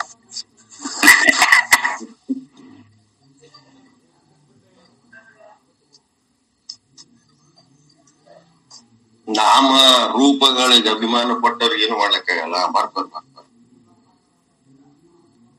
ನೆಕ್ಸ್ಟ್ ಏನು ಜಾಗೃತಾವಸ್ಥೆಯಲ್ಲಿ ಇದೇನದ? ವಿಚಾರ ಚಂದ್ರೋದಯ ವಿಚಾರ ಚಂದ್ರೋದಯ, ವಿಚಾರ ಚಂದ್ರೋದಯದ ಪಾಠ ನಡೆದದ ಇದು ವಿಚಾರ, ಮೂರ್ ಸಾರಿ ಯಾಕೆ ಹೇಳಕತ್ತೀನಿ ಅಂದ್ರ, ವಿಚಾರ ಚಂದ್ರೋದಯ ಹೇಳ್ತಾ ಇದ್ದೀವಿ, ವಿಚಾರ ಸಾಗರ ಹೇಳ್ತಾನೆ ಇಲ್ಲ. ನಾವ್ ಹೇಳಿದ ವಿಚಾರಗಳು ವಿಚಾರ ಸಾಗರದ ಹುಡುಕ್ಲಕತ್ತಾರ ಅಂತ ಸಿಗಲಾಗ್ಯದ ನಿನ್ ಫೋನ್ ಮಾಡಿದ್ರು ಒಬ್ರು. ಅದಕ್ಕ ಇದು ವಿಚಾರ ಚಂದ್ರೋದಯ, ಪಂಡಿತ್ ಪೀತಾಂಬರ್ಜಿ ಅವರ ಗ್ರಂಥ. ಅದ್ರೊಳಗೆ ಎಪ್ಪತ್ತನೇ ಪ್ರಶ್ನೆ. ಎಲ್ಲ ಇಷ್ಟು ಸ್ಪಷ್ಟವಾಗಿ ಹೇಳಲಿಕ್ಕಾಗಿ ವಿಚಾರ ಸಾಗರದ ಹುಡುಕದ ಅದು ಅದಕ್ಕೆ ಈ ದೃಷ್ಟಾಂತವನ್ನ ಹ್ಯಾಂಗ ತಿಳ್ಕೊಬೇಕು ಅನ್ನೋದಕ್ಕ ಇಲ್ಲಿ ಅವ್ರ ಏನೇನ್ ಮಾಡಿದ್ರು? ಜಾಗೃತಾವಸ್ಥೆಯಲ್ಲಿ ಮೂರ್ ಪಾಯಿಂಟ್ಗಳು ಕೊಟ್ರು ಮೊದಲು. ಏನೇನ್ ಕೊಟ್ರು? ಹತ್ತು ಇಂದ್ರಿಯಗಳು ಮತ್ತು ಐದು ಅಂತಃಕರಣಗಳ ಸಹಾಯದಿಂದ ಜಾಗೃತಾವಸ್ಥೆಯಲ್ಲಿ ಇದು ನಾನು ತಿಳಿಯುತ್ತೇನೆ, ಪ್ರಕಾಶಿಸುತ್ತೇನೆ ಅಂತ ಒಂದನೇದ್ದು ನೆಕ್ಸ್ಟ್ ಎರಡನೇದ್ದು ಸ್ವಪ್ನಾವಸ್ಥೆಯಲ್ಲಿ ಇಂದ್ರಿಯಗಳ ಸಹಾಯವಿಲ್ಲದೆ ಕೇವಲ ಅಂತಃಕರಣದ ಸಹಾಯದಿಂದ ನಾನು ತಿಳಿಯುತ್ತೇನೆ. ಅಲ್ಲಿ ಹತ್ತು ಇಂದ್ರಿಯಗಳು, ಕರ್ಮೇಂದ್ರಿಯಗಳು, ಜ್ಞಾನೇಂದ್ರಿಯಗಳು ಇರಂಗಿಲ್ಲ. ಸ್ವಪ್ನಾವಸ್ಥೆಯಲ್ಲಿ ಕೇವಲ ಐದು ಅಂತಃಕರಣಗಳು ಇರ್ತವೆ.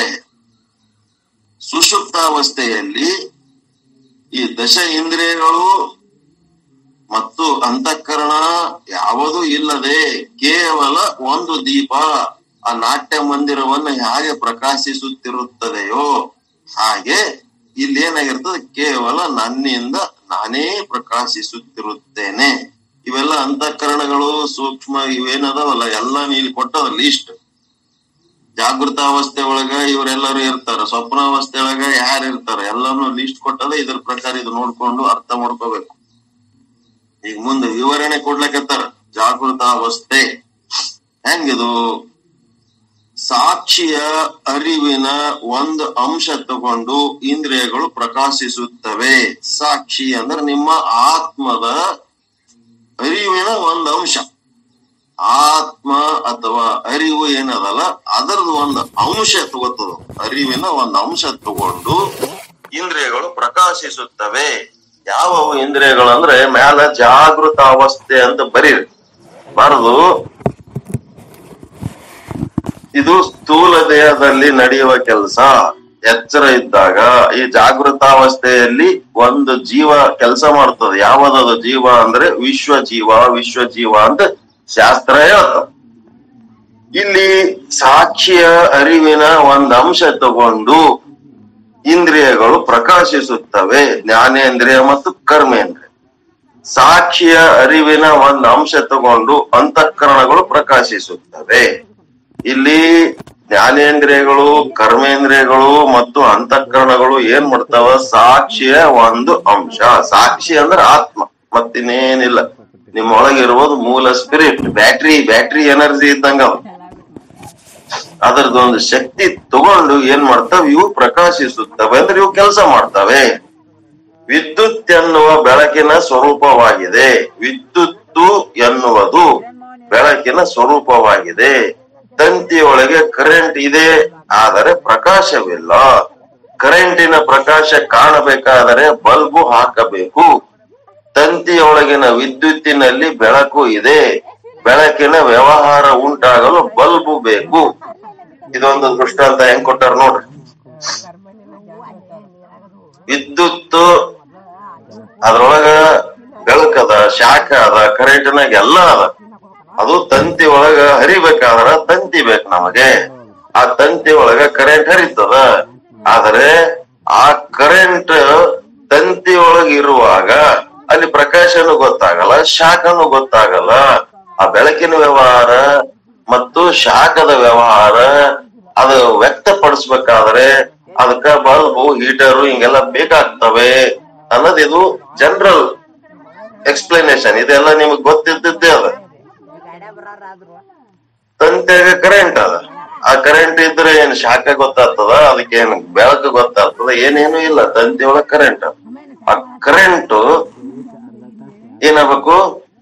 ಬಲ್ಬ್ ಹಾಕಿದ್ರೆ ಅದು ಬೆಳಕಾಗ್ತದ ಅಥವಾ ಹೀಟರ್ ಹಾಕಿದ್ರೆ ಶಾಖ ಬರ್ತದ. ಮತ್ ಫ್ಯಾನ್ ಹಾಕಿದ್ರೆ ಗಾಳಿ ಬರ್ತದ. ಎಲ್ಲ ಬರ್ತದ. ಇದೆಲ್ಲ ಆತರ್ತ ಗಾಳಿ ತಿರುಗಿಸ ಕೆಲಸ ಆಗ್ತದ. ಇವೆಲ್ಲ ಆಗ್ಬೇಕಾದ್ರೆ ಹಾಗೆಯೇ ಸಾಕ್ಷಿ ಚೈತನ್ಯ ವಿದ್ಯುತ್ ಇದ್ದ ಹಾಗೆ ಹೇಳಿದ್ನಲ್ಲ ನಾನು. ಬ್ಯಾಟ್ರಿ ಎನರ್ಜಿ ಅಂತ ಹೇಳಿಲ್ಲ. ಅದೇ, ಸಾಕ್ಷಿ ಚೈತನ್ಯ ವಿದ್ಯುತ್ ಇದ್ದ ಹಾಗೆ. ಮತ್ತೆ, ಆದರೆ ಅದರಿಂದ ಏನಾದರೂ ವ್ಯವಹಾರ ಮಾಡಬೇಕಿದ್ದರೆ ಅಂತಃಕರಣ ಇಂದ್ರಿಯಗಳೆಂಬ ಬಲ್ಬುಗಳು ಬೇಕು. ಅಂತಃಕರಣ ಇಂದ್ರಿಯಗಳು ಅನ್ನೋ ಬಲ್ಬುಗಳು ಬೇಕು. ಇವುಗಳ ಮೂಲಕವಾಗಿ ಜಾಗೃತ ಪ್ರಪಂಚವನ್ನ ಪ್ರಕಾಶ ಮಾಡುತ್ತವೆ ಅಂದ್ರೆ ತಿಳಿಯುತ್ತವೆ. ಇವ್ ಏನದವ? ನಿಮ್ಮ ಹದಿನೈದು ಬಲ್ಬ್ಗಳಿದ್ದಂಗ ಅದಾವ ಇವು ನಿಮ್ಮ ಶರೀರದೊಳಗ ಹದಿನೈದು ಬಲ್ಬ್ಗಳು. ನಿಮ್ ಶರೀರನೇ ತಂತಿ ಇದ್ದಂಗ. ಆತ್ಮನೇ ಕರೆಂಟ್ ಇದ್ದಂಗ. ಶರೀರ ಅಂದ್ರೆ ಒಂದು ತಂತಿ ಅನ್ಕೊಳ್ರಿ. ಫ್ಯೂಸ್ ವೈರು ವೈರಿಂಗ್ ಎಲ್ಲ ನಿಮ್ ಶರೀರ. ಅದ್ರೊಳಗೆ ಏನಾಗ್ಯಾವ? ಹದಿನೈದು ಬಲ್ಬ್ ಅದಾವ. ಕಣ್ಣು, ಕಿವಿ, ಮೂಗು, ನಾಲಿಗೆ, ಚರ್ಮ, ಕೈ, ಕಾಲು, ಬಾಯಿ, ಗುದ್ದ, ಗುಯ್ಯ ಜ್ಞಾತೃ ಮನ ಬುದ್ಧಿ, ಚಿತ್ತ, ಅಹಂಕಾರ. ಈ ಹದಿನೈದು ಬಲ್ಬ್ಗಳು ಆತ್ಮ ಎಂಬ ಒಂದು ಕರೆಂಟ್ ಈ ದೇಹ ಎಂಬುವ ತಂತಿಯ ಮೂಲಕ ಹರಿದು ಈ ಬಲ್ಬ್ಗಳು ಹತ್ತುತ್ತವ ಅಂತ ಇದು ಜಾಗೃತಾವಸ್ಥೆಯಲ್ಲಿ ನಡೆಯುವ ವ್ಯವಹಾರ. ಇದಾದ್ಮೇಲೆ ಅರ್ಥ ಆಯ್ತಾ ಇದು? ಆತ್ಮ ಅಂದ್ರೆ ಏನು? ಅಂದ್ರೆ ನಿಮ್ಮ ಸಾಕ್ಷಿ ಚೈತನ್ಯ ಏನದಲ್ಲ ಅದು ಕರೆಂಟ್ ಇದ್ದಂಗ ಅಂತ ತಿಳ್ಕೊಳ್ರಿ. ನಿಮ್ಮದು ಇಡೀ ಸ್ಥೂಲ ಶರೀರ ಏನದಲ್ಲ ಅದಕ್ಕ ಒಂದು ತಂತಿ ಫ್ಯೂಸ್ ವೈರಿಂಗ್ ವೈರಿಂಗ್ ಅಂತ ತಿಳ್ಕೊಳ್ರಿ. ಮತ್ತೆ ನೆಕ್ಸ್ಟ್ ಬಲ್ಬ್ಗಳಂತ ತಿಳ್ಕೊಳ್ರಿ, ಇವು ಹದಿನೈದು ಇಂದ್ರಿಯಗಳು, ಅಂತಃಕರಣ ಇಂದ್ರಿಯಗಳು ಜ್ಞಾತೃ ಮನ, ಬುದ್ಧಿ, ಚಿತ್ತ, ಅಹಂಕಾರ. ಮತ್ತೆ ಐದು ಜ್ಞಾನೇಂದ್ರಿಯಗಳು ಕಣ್ಣು, ಕಿವಿ, ಮೂಗು, ನಾಲಿಗೆ, ಚರ್ಮ, ಐದು ಕರ್ಮೇಂದ್ರಿಯಗಳು ಅಂತಂದ್ರೆ ಕೈ, ಕಾಲು, ಬಾಯಿ, ಗುದಾ, ಗುಯ್ಯ. ಹಿಂಗ್ ಇದು ತಿಳ್ಕೊಬೇಕು ಜಾಗೃತಾವಸ್ಥೆ ಒಳಗೆ ನಡೆ, ವ್ಯವಹಾರ ಹಿಂಗ ನಡೀತದ. ನೆಕ್ಸ್ಟ್ ಏನಾಯ್ತು ಸೆಕ್ಸ್ ನೆಕ್ಸ್ಟ್ ಸೆಕೆಂಡ್ ಸ್ವಪ್ನಾವಸ್ಥೆ ಇದು ಸೂಕ್ಷ್ಮ ದೇಹದಲ್ಲಿ ನಡೆಯುವ ವ್ಯವಹಾರ. ಈ ಸ್ವಪ್ನಾವಸ್ಥೆಯಲ್ಲಿ ಸೂಕ್ಷ್ಮ ದೇಹದಲ್ಲಿ ಇಲ್ಲಿನೂ ಜೀವ ಇರ್ತದ. ಆ ಜೀವನ ಹೆಸರು ಏನಪ್ಪಾ ಅಂತಂದ್ರೆ ತೈಜಸ್ ಜೀವ ತೈಜಸ್ ಜೀವ ಅಂತೇಳಿ ಹೇಳ್ತಾರೆ. ಮಂಗಲಂ ಗುರುದೇವ ಅಪ್ಪಗೆ ಮಂಗಲಂ ಜಯ ಮಂಗಲಾತ್ಮಗೆ ಮಂಗಲಂ ಮಂಗಲೆಯ ಲೋಲಗೆ ಮಂಗಲೇಶನಿಗೆ ತುಮ ಸಂಗರಹಿತಗೆ ಲಿಂಗ ದೇಹ ವಿಭಂಗ ಗೈದಗೆ ಸಂಗಮೇಶ್ವರ ಸಪ್ಲಾವಸ್ಥೆಯಲ್ಲಿ ಇಂದ್ರಿಯಗಳ ಸಹಾಯವಿಲ್ಲದೆ ಕೇವಲ ಅಂತಃಕರಣದ ಸಹಾಯದಿಂದ ಆತ್ಮನು ಪ್ರಕಾಶಿಸುತ್ತಾನೆ. ಮಂಗಲಂ ಗುರುದೇವ, ಅಪ್ಪಗೆ ಮಂಗಲಂ, ಜಯ ಮಂಗಲ ತ್ವಗೆ ಮಂಗಲಂ. ಹಗಲತ್ತ ಬೆಳಕ್ಬೇಕು, ಆಫೀಸ್ ಚಾಲು ಇದ್ದಾಗ ಬೆಳಕ್ಬೇಕು. ಆಫೀಸ್ ಬಂದಾದ್ಮೇಲೆ ಬಲ್ಬ್ ತೆಗೆದು ಸುಮ್ ಜೀರೋ ಬಲ್ಬ್ ಇಟ್ಟಿರ್ತಾರಲ್ಲ, ಹಾಂಗ, ಕೇವಲ ಅಂತಃಕರಣದ ಇಂದ್ರಿಯಗಳು ಇವುಗಳಂತೆ ನೆಕ್ಸ್ಟ್ ಏನಾಯ್ತು? ಸ್ವಪ್ನಾವಸ್ಥೆಯಲ್ಲಿ ಇಂದ್ರಿಯಗಳು ಇಲ್ಲ, ಆದರೆ ಪ್ರಕಾಶವಿದೆ. ಅಲ್ಲಿ ಜಾತ್ರೆಯನ್ನು ನೋಡುವಿರಿ, ಅಲ್ಲಿ ಕೂಡ ಕಣ್ಣು ಕಿವಿ, ಎಲ್ಲಾ ಕೆಲಸ ನಡೆದಿರ್ತದ. ಆದರೆ ಅಲ್ಲಿ ಏನದಂದ್ರ, ಕಣ್ಣಿಲ್ಲವಾದರೂ ಕಾಣುತ್ತಿರುತ್ತದೆ, ಕಿವಿ ಇಲ್ಲವಾದರೂ ಕೇಳುತ್ತಿರುತ್ತದೆ, ಕಾಲಿಲ್ಲವಾದರೂ ಚಲಿಸುತ್ತಿರುತ್ತೀರಿ. ಎದರಿಂದೀಪ ಎಲ್ಲ ಅಂತಂದ್ರೆ ಏನಾಗಿದೆ ಇದು? ಹೆಂಗ್ ಆಯ್ತಿದು ಹೆಂಗ್ ಸಾಧ್ಯ ಆಯ್ತಿದು ಅಂತಂದ್ರೆ ನಿಮ್ಮ ಅಂತಃಕರಣಕ್ಕೆ ಅಂತ ಒಂದು ಸಾಮರ್ಥ್ಯವಿದೆ. ಸ್ಥೂಲ ಶರೀರದ ಎಷ್ಟು ಅವಯವಗಳಿವೆಯೋ, ಅಷ್ಟು ಅವಯವಗಳ ಪಾತ್ರ ವಹಿಸುವ ಕೆಲಸ ನಿಮ್ಮ ಸೂಕ್ಷ್ಮ ಶರೀರಕ್ಕೂ ಇದೆ. ನಿಮ್ಮ ಸೂಕ್ಷ್ಮ ಶರೀರ ಸ್ಥೂಲ ಶರೀರದ ಕಿವಿಯಿಂದ ಕೇಳುವುದಿಲ್ಲ. ಸೂಕ್ಷ್ಮ ಶರೀರ ತನ್ನ ಕಿವಿಯಿಂದ ಕೇಳ್ತದದು. ಸೂಕ್ಷ್ಮ ಶರೀರದ ಕಿವಿ ಬೇರೆ, ಸ್ಥೂಲ ಶರೀರದ ಕಿವಿ ಬೇರೆ. ಸೂಕ್ಷ್ಮ ಶರೀರದ ಕಾಲು ಬೇರೆ, ಸ್ಥೂಲ ಶರೀರದ ಕಾಲು ಬೇರೆ. ಸ್ಥೂಲ ಶರೀರದ ಕಾಲು ಕಟ್ಟಾಗಿ ಹೋಗಿರ್ಬೋದು, ಆದ್ರ ಸೂಕ್ಷ್ಮ ಶರೀರದ ಕಾಲು ಕಟ್ಟಾಗಂಗಿಲ್ಲ. ಸ್ಥೂಲ ಶರೀರದ ಕಣ್ಣು ಕುರುಡಾಗಿರ್ಬೋದು. ಸೂಕ್ಷ್ಮ ಶರೀರದ ಕಣ್ಣು ಕುರುಡಾಗ್ಲಿಕ್ಕೆ ಸಾಧ್ಯವಿಲ್ಲ. ಸೂಕ್ಷ್ಮ ಶರೀರ ಏನದ? ಸ್ಥೂಲ ಶರೀರಕ್ಕಿಂತ ಪರಿಪೂರ್ಣ ಅದ ಅದು ಯಾವ ಡ್ಯಾಮೇಜ್ ಒಳಗೆ ಅದು ಒಳಗಾಗಂಗಿಲ್ಲ. ಏನೇನು ಡ್ಯಾಮೇಜ್ ಆಗಲ್ಲ ಅದು. ಅದಕ್ಕೆ ಏನ್ ಲಾರಿ ಬುಡಕ್ ಈ ಶರೀರ ಎತ್ತಿ ಹೋಗದು, ಪುಡಿ ಪುಡಿ ಮಾಡಿದ್ರು ಸಹಿತ ಸೂಕ್ಷ್ಮ ಶರೀರಕ್ಕೆ ಏನೇನು ಆಗಂಗಿಲ್ಲ. ಸೂಕ್ಷ್ಮ ಶರೀರ ಹೆಂಗಿರ್ಬೇಕು ಹಂಗೇ ಇರ್ತದ. ಅದಕ್ಕೆ ಕಿವಿಯೂ ತಾನೇ ಆಗಿದೆ, ಕಣ್ಣು ತಾನೇ ಆಗಿದೆ, ದೃಶ್ಯವೂ ತಾನೇ ಆಗಿದೆ ದೃಕ್ ತಾನೇ ಆಗಿದೆ, ಎಲ್ಲ ವಿಷಯ, ವಿಷಯಿ ಎಲ್ಲ ತಾನೇ ಆಗಿದೆ. ಅಂದ್ರೆ ಸೂಕ್ಷ್ಮ ಶರೀರದ ಕೆಪಾಸಿಟಿ ನೋಡ್ರಿ, ಹೆಂಗದಿದ? ಅಂತಃಕರಣ ಅಂತ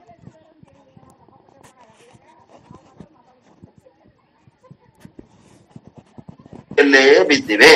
ವ್ಯವಹಾರಿಕ ಕಾಲ ಅಂದ್ರೆ ಏನು? ಸ್ಥೂಲ ಶರೀರದ ವ್ಯವಹಾರಿಕ ಕಾಲು. ಹಾಸಿಗೆಯಲ್ಲಿ ಬಿದ್ದೇವೆ. ಆತ ಸ್ವಪ್ನದಲ್ಲಿ ಓಡುತ್ತಿದ್ದಾನೆ, ಚಲಿಸುತ್ತಿದ್ದಾನೆ. ಎದರಿಂದ ಯಾವ ಕಾಲುಗಳವು ಅಂದ್ರೆ ಯಾವವು? ಈ ಕಾಲುಗಳಿಗೆ ಏನಂತಾರ? ಸೂಕ್ಷ್ಮ ಶರೀರದ ಕಾಲುಗಳು. ಸೂಕ್ಷ್ಮ ಶರೀರದ ಕಾಲುಗಳಿಗೆ ಏನಂತಾರಪ್ಪ ಅಂದ್ರೆ ಪ್ರಾತಿಭಾಷಿಕ ಕಾಲುಗಳು ಅಂತಾರ ಪ್ರಾತಿಭಾಷಿಕ ಶರೀರ. ಸೂಕ್ಷ್ಮ ಶರೀರನೇ ಪ್ರಾತಿಭಾಷಿಕ ಶರೀರ, ಮಾನಸಿಕ, ಅಂತಃಕರಣೀಯ. ಹಿಂಗೆಲ್ಲ ಬಳಸ್ತಾರ. ಪ್ರಾತಿಭಾಷಿಕ ಮನಸ್ಸೇ ಕಾಲಾಗಿದೆ, ಮನಸ್ಸೇ ಕಣ್ಣಾಗಿದೆ, ಮನಸ್ಸೇ ಓಡುತ್ತದೆ, ಮನಸ್ಸೇ ನೋಡುತ್ತದೆ. ಸ್ವಪ್ನಾವಸ್ಥೆಯಲ್ಲಿ ಇಂದ್ರಿಯಗಳ ಸಹಾಯವಿಲ್ಲದೆ ಅಂತಃಕರಣಗಳ ಮೂಲಕವಾಗಿ ಆ ಸ್ವಪ್ನ ಪ್ರಪಂಚವನ್ನ ಸಾಕ್ಷಿ ಚೇತನ ರೂಪನಾದ ನಾನು ಅರಿಯುತ್ತೇನೆ, ಪ್ರಕಾಶಿಸುತ್ತೇನೆ. ನೋಡಿ, ಸ್ವಪ್ನಾವಸ್ಥೆಯಲ್ಲಿ ಇಂದ್ರಿಯಗಳ ಸಹಾಯವಿಲ್ಲದೆ ಅಂತಃಕರಣಗಳ ಮೂಲಕವಾಗಿ ಸ್ವಪ್ನ ಪ್ರಪಂಚವನ್ನ ಸಾಕ್ಷಿ ಚೇತನ ರೂಪನಾದ ನಾನು ಆತ್ಮನು ಪ್ರಕಾಶಿಸುತ್ತಾನೆ ಅಂತ ತಿಳಿಯುತ್ತೇನೆ. ಏನಾಯ್ತದು? ಸೂಕ್ಷ್ಮ ದೇಹಕ ಮೈ ದೃಷ್ಟಾನು. ನೀವು ಸೂಕ್ಷ್ಮ ಶರೀರದ ದೃಷ್ಟ ನೀವಿದ್ದೀರಿ. ನಿಮ್ಗ ಸೂಕ್ಷ್ಮ ಶರೀರಕ್ಕ ಒಂದು ಕೈ, ಕಾಲು, ಕಣ್ಣು, ಇಂದ್ರಿಯ ಅದಾವಂತೇಳಿ ಗೊತ್ತಿತ್ತೋ ಇಲ್ಲೋ? ಇವತ್ತ ನಿಮ್ಮ ಸೂಕ್ಷ್ಮ ಶರೀರದೊಳಗ ಇನ್ನ ಒಂದು ಸೆಟ್ ಕೈ, ಕಾಲು, ಕಣ್ಣು ಎಲ್ಲಾ ಅದಾವ. ಅವು ಯಾವಾಗ ಕೆಲ್ಸಕ್ ಬರ್ತಾವ ಅಂದ್ರೆ ಮಲ್ಕೊಂಡಾಗ ಕನಸಿನಾಗ ಕೆಲ್ಸಕ್ ಬರ್ತಾವ. ಕನಸಿನೊಳಗ ನಿಮ್ಮ ಸೂಕ್ಷ್ಮ ಶರೀರದ ಕಾಲುಗಳು ಓಡುತ್ತವೆ. ಕನಸಿನೊಳಗ ಸೂಕ್ಷ್ಮ ಶರೀರದ ನಾಲಿಗೆ ಗುಲಾಬ್ ಜಾಮೂನ್ ತಿನ್ನುತ್ತದೆ. ಸ್ಥೂಲ ಶರೀರದ ನಾಲಿಗೆಗೆ ಜಗತ್ತಿನೊಳಗ ರೊಕ್ಕ ಇದ್ರ ಗುಲಾಬ್ ಜಾಮೂನ್ ಸಿಗ್ತದ.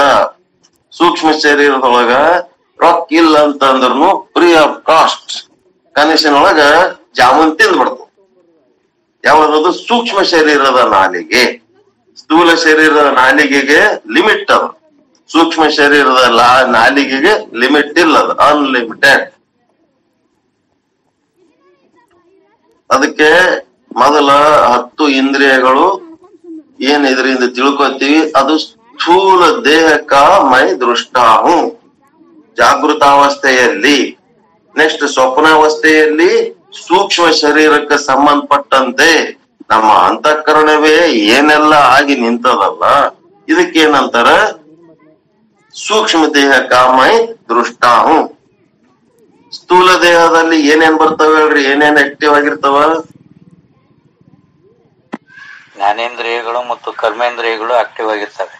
ಮತ್ತ ಪ್ಲಸ್ ಅದನ್ನ ಅದನ್ನ ಹಿಡ್ಕೊಂಡಿರ್ಬೇಕು ಜಾಗೃತಾವಸ್ಥೆಯಲ್ಲಿ ಇವು ಐದು ಇವನು ಬರ್ಬೇಕು. ಅಂತಃಕರಣ ಇಂದ್ರಿಯಗಳು. ಸಲಗೆ ಈ ಪ್ರಶ್ನೆ ಕೇಳೇನ್ ನಾನು. ಹದಿನೈದು ಬಂದ್ ಬಿಡ್ತಾವ ಜಾಗೃತಾವಸ್ಥೆ ಒಳಗ್ ಚಾಲು ಇರ್ತಾವ. ನಿದ್ದೆ ಎತ್ತಿದ ಮೇಲೆ ಏನಾಗ್ತದ?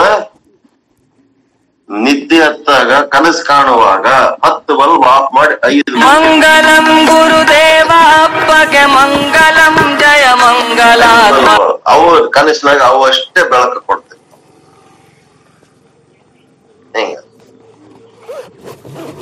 ಮಂಗಲಂ ಗುರುದೇವ. ನಾವು ಇದೇನು ಇಷ್ಟ ಅನುಭವ ಎಲ್ಲರಿಗೆ ಆದ. ಇಷ್ಟ ಅನುಭವ ಎಲ್ಲರಿಗೆ ಆದ. ಆದ್ರ ಸುಷುಪ್ತ ಅವಸ್ಥೆ ಒಳಗ ನಿಮಗ್ ಪೂರ್ತಿ ನಿದ್ದೆ ಎತ್ತಿದ ಮೇಲ ಏನ್ ಅನುಭವ ಆಗ್ತದ ಅನ್ನೋದು ನಿಮ್ಗ ಹೇಳಕ್ ಬರಲ್ಲ. ಯಾರಿಗೆ ಅವ್ರವ್ರ ಸುಷುಪ್ತಾವಸ್ಥೆ ಒಳಗ ಏನ್ ಅನುಭವ ಆಗ್ಯದ? ಸುಷುಪ್ತಾವಸ್ಥೆಯನ್ನ ಸುಷುಪ್ತಾವಸ್ಥೆಯಲ್ಲಿ ಹೇಳಕ್ ಬರಲ್ಲ. ಜಾಗೃತಾವಸ್ಥೆಯಲ್ಲಿ ಹೇಳಕ್ ಬರ್ತದ. ಅದಕ್ಕೆ ಸುಷುಪ್ತಾವಸ್ಥೆಯಲ್ಲಿ ಕೆಲಸ ಮಾಡೋದಕ್ಕೆ ಏನ್ ಅಂತಾರ ಅಂತಂದ್ರೆ, ಪ್ರಾಜ್ಞ ಜೀವ ಪ್ರಾಜ್ಞ ಜೀವ ಅನ್ನುತ್ತಾರೆ. ಇಲ್ಲಿ ಈ ಜೀವ ಏನ್ ಕೆಲಸ ಮಾಡ್ತದ ಅಂದ್ರ, ಇಲ್ಲಿ ಇಂದ್ರಿಯಗಳು ಇಲ್ಲ, ಅಂತಃಕರಣಗಳು ಇಲ್ಲ, ಇವುಗಳ ಸಹಾಯವಿಲ್ಲದೆ ಕೇವಲ ನಾನೇ ಪ್ರಕಾಶಿಸುತ್ತೇನೆ. ಅದೇನ್ ಕರೆಂಟ್ ಅದಲ್ಲ ಈ ಆತ್ಮ ಎನ್ನುವ ಕರೆಂಟ್ಗೆ ಎಂತ ಶಕ್ತಿ ಅದಂದ್ರ ಬಲ್ಬಿನ ಸಹಾಯವಿಲ್ಲದೆ, ಅಂತಃಕರಣ ವೈರಿನ ಸಹಾಯವಿಲ್ಲದೆ ತಾನೇ ಬೆಳಗುತ್ತದದು, ಸ್ವಯಂ ಪ್ರಕಾಶ. ಆತ್ಮ ಅಂಗದ ಈ ಈ ಕರೆಂಟ್ ತಂತಿ ಮೂಲಕ ಹರಿಯುವ ಕರೆಂಟಿಗೆ ಈ ಆತ್ಮದ ಕರೆಂಟಿಗೆ ವ್ಯತ್ಯಾಸ ಏನಂದ್ರ ತಂತಿ ಮೂಲಕ ಹರಿಯುವ ಕರೆಂಟಿಗೆ ತಂತಿನೂ ಬೇಕು ಮತ್ತು ಬಲ್ಬು ಬೇಕು. ಬೆಳಕು ಮಾಡ್ಬೇಕಾದ್ರ. ಆದ್ರ ನಿಮ್ಮ ಆತ್ಮ ಏನದ ಅಂತಂದ್ರೆ ಅದು ಸ್ವಯಂ ಪ್ರಕಾಶ ಅದ ಅದು. ಅದಕ್ಕ ತಂತಿನೂ ಬೇಕಾಗಿಲ್ಲ, ಬಲ್ಬನು ಬೇಕಾಗಿಲ್ಲ. ಅದು ಏನು ಇಲ್ಲದೇನು ತಾನೇ ಬೆಳಗುವಂತ ಒಂದು ಶಕ್ತಿ ಅದಕ್ಕದ. ಅಲ್ಲಿ ಸ್ವಯಂ ಪ್ರಕಾಶ, ಅಲ್ಲಿ ಇಂದ್ರಿಯಗಳು ಇಲ್ಲ, ಅಂತಃಕರಣಗಳು ಇಲ್ಲ ಇವುಗಳ ಸಹಾಯವಿಲ್ಲದೆ ಕೇವಲ ನಾನೇ ಪ್ರಕಾಶಿಸುತ್ತೇನೆ ಅಂದ್ರೆ ಆತ್ಮವೇ ಪ್ರಕಾಶಿಸುತ್ತಿರುತ್ತದೆ, ತಾನೇ ಬೆಳಕಾಗಿರುತ್ತ ಕಾರ್ಯವಾದ ಇಂದ್ರಿಯ ಮನಸ್ಸುಗಳು ಕಾರಣವಾದ ಅವಿದ್ಯೆ ಒಳಗೆ ಲಯವಾಗಿದೆ. ಕಾರಣ ಶರೀರ, ಕಾರ್ಯ ಶರೀರ ಅದಾವಲ್ಲ ಇಂದ್ರಿಯ ಮತ್ತು ಮನಸ್ಸು ಅಂತಂದ್ರೇನು ಸ್ಥೂಲ ಶರೀರ ಮತ್ತು ಸೂಕ್ಷ್ಮ ಶರೀರ, ಎರಡು ಹೋಗಿ ಏನ್ ಮಾಡ್ಬಿಟ್ಟವ? ಕಾರಣ ಶರೀರ ಅಂತಂದ್ರೆ ಯಾವದಕ್ಕಂದ್ರೆ ಅವಿದ್ಯೆ ಅಂತ ಏನದಲ್ಲ? ಈ ಕಾರಣ ಶರೀರದೊಳಗ ಅವು ಲಯವಾಗಿವೆ ರೆಸ್ಟ್ ಮಾಡ್ಲಿಕ್ಕತ್ತಿರ್ತಾವ ನಿದ್ದೆ ಎತ್ತಿದಾಗ. ಈ ಸೆಂಟೆನ್ಸ್ ಬಹಳ ಮುಖ್ಯ ಅದ. ಬರ್ಕೋಬೇಕು. ಇದು ನೀಟಾಗಿ ಬರ್ಕೋಬೇಕು. ಏನು? ಕಾರ್ಯವಾದ ಇಂದ್ರಿಯ. ಅಂದ್ರೇನು ಸ್ಥೂಲ ಶರೀರ. ಮತ್ತ ಮನಸ್ಸು. ಅಂದ್ರೇನು ಸೂಕ್ಷ್ಮ ಶರೀರ. ಇವೆರಡು ಏನ್ ಮಾಡ್ಯಾವ? ಕಾರಣವಾದ ಅವಿದ್ಯೆ ಒಳಗೆ ಲಯವಾಗಿವೆ. ಕಾರಣ ಶರೀರದೊಳಗೆ ಮಕ್ಕೊಂಡ್ಬಿಟ್ಟವ ಕಾರಣ ಶರೀರನೇ ತಾಯಿ. ಇವೆರಡು ಮಕ್ಕಳಿದ್ದಂಗ ಅವು ಹೋಗಿ ಏನ್ ಮಾಡ್ಬಿಟ್ಟವ? ತಾಯಿಯ ಮಡಿಲಲ್ಲಿ ಮಲ್ಕೊಂಡ್ಬಿಟ್ಟಿರ್ತಾವ. ನಿದ್ದೆ ಆ ಮಕ್ಕಳಿಗೆ ರಕ್ಷಣೆ ಮಾಡ್ಲಕ್ ತಾಯಿ ಎಚ್ಚರ ಇರ್ತಾವಲ್ಲ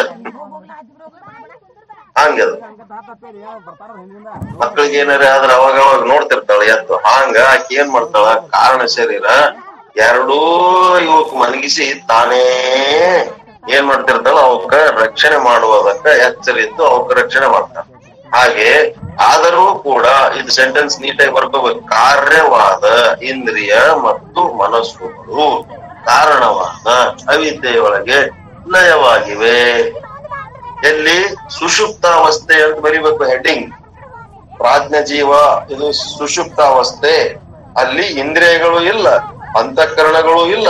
ಇವುಗಳ ಸಹಾಯವಿಲ್ಲದೆಯೇ ಕೇವಲ ನಾನೇ ಅಂದರೆ ಆತ್ಮವೇ ಪ್ರಕಾಶಿಸುತ್ತೇನೆ. ಸೆಕೆಂಡ್ ಸೆಂಟೆನ್ಸ್ ಏನದ? ಕಾರ್ಯವಾದ ಇಂದ್ರಿಯ ಮತ್ತು ಮನಸ್ಸುಗಳು ಕಾರಣವಾದ ಅವಿದ್ಯೆ ಒಳಗೆ ಲಯವಾಗಿವೆ. ಮಾಯಾ, ಅವಿದ್ಯೆ ಅವೆಲ್ಲ ಓದಿರಲ್ಲ ಮೊದಲು. ಮಾಯೆ ಅಂದ್ರೆ ಇಡೀ ವಿಶ್ವಕ್ಕ ಒಂದೇ ಮಾಯೆ. ಅದಕ್ಕೊಬ್ಬ ಈಶ್ವರ ಆ ಮಾಯೆ ರಾಜ್ಯಕ್ಕೆ ಈಶ್ವರನೇ ಮಾಲೀಕ ನೆಕ್ಸ್ಟ್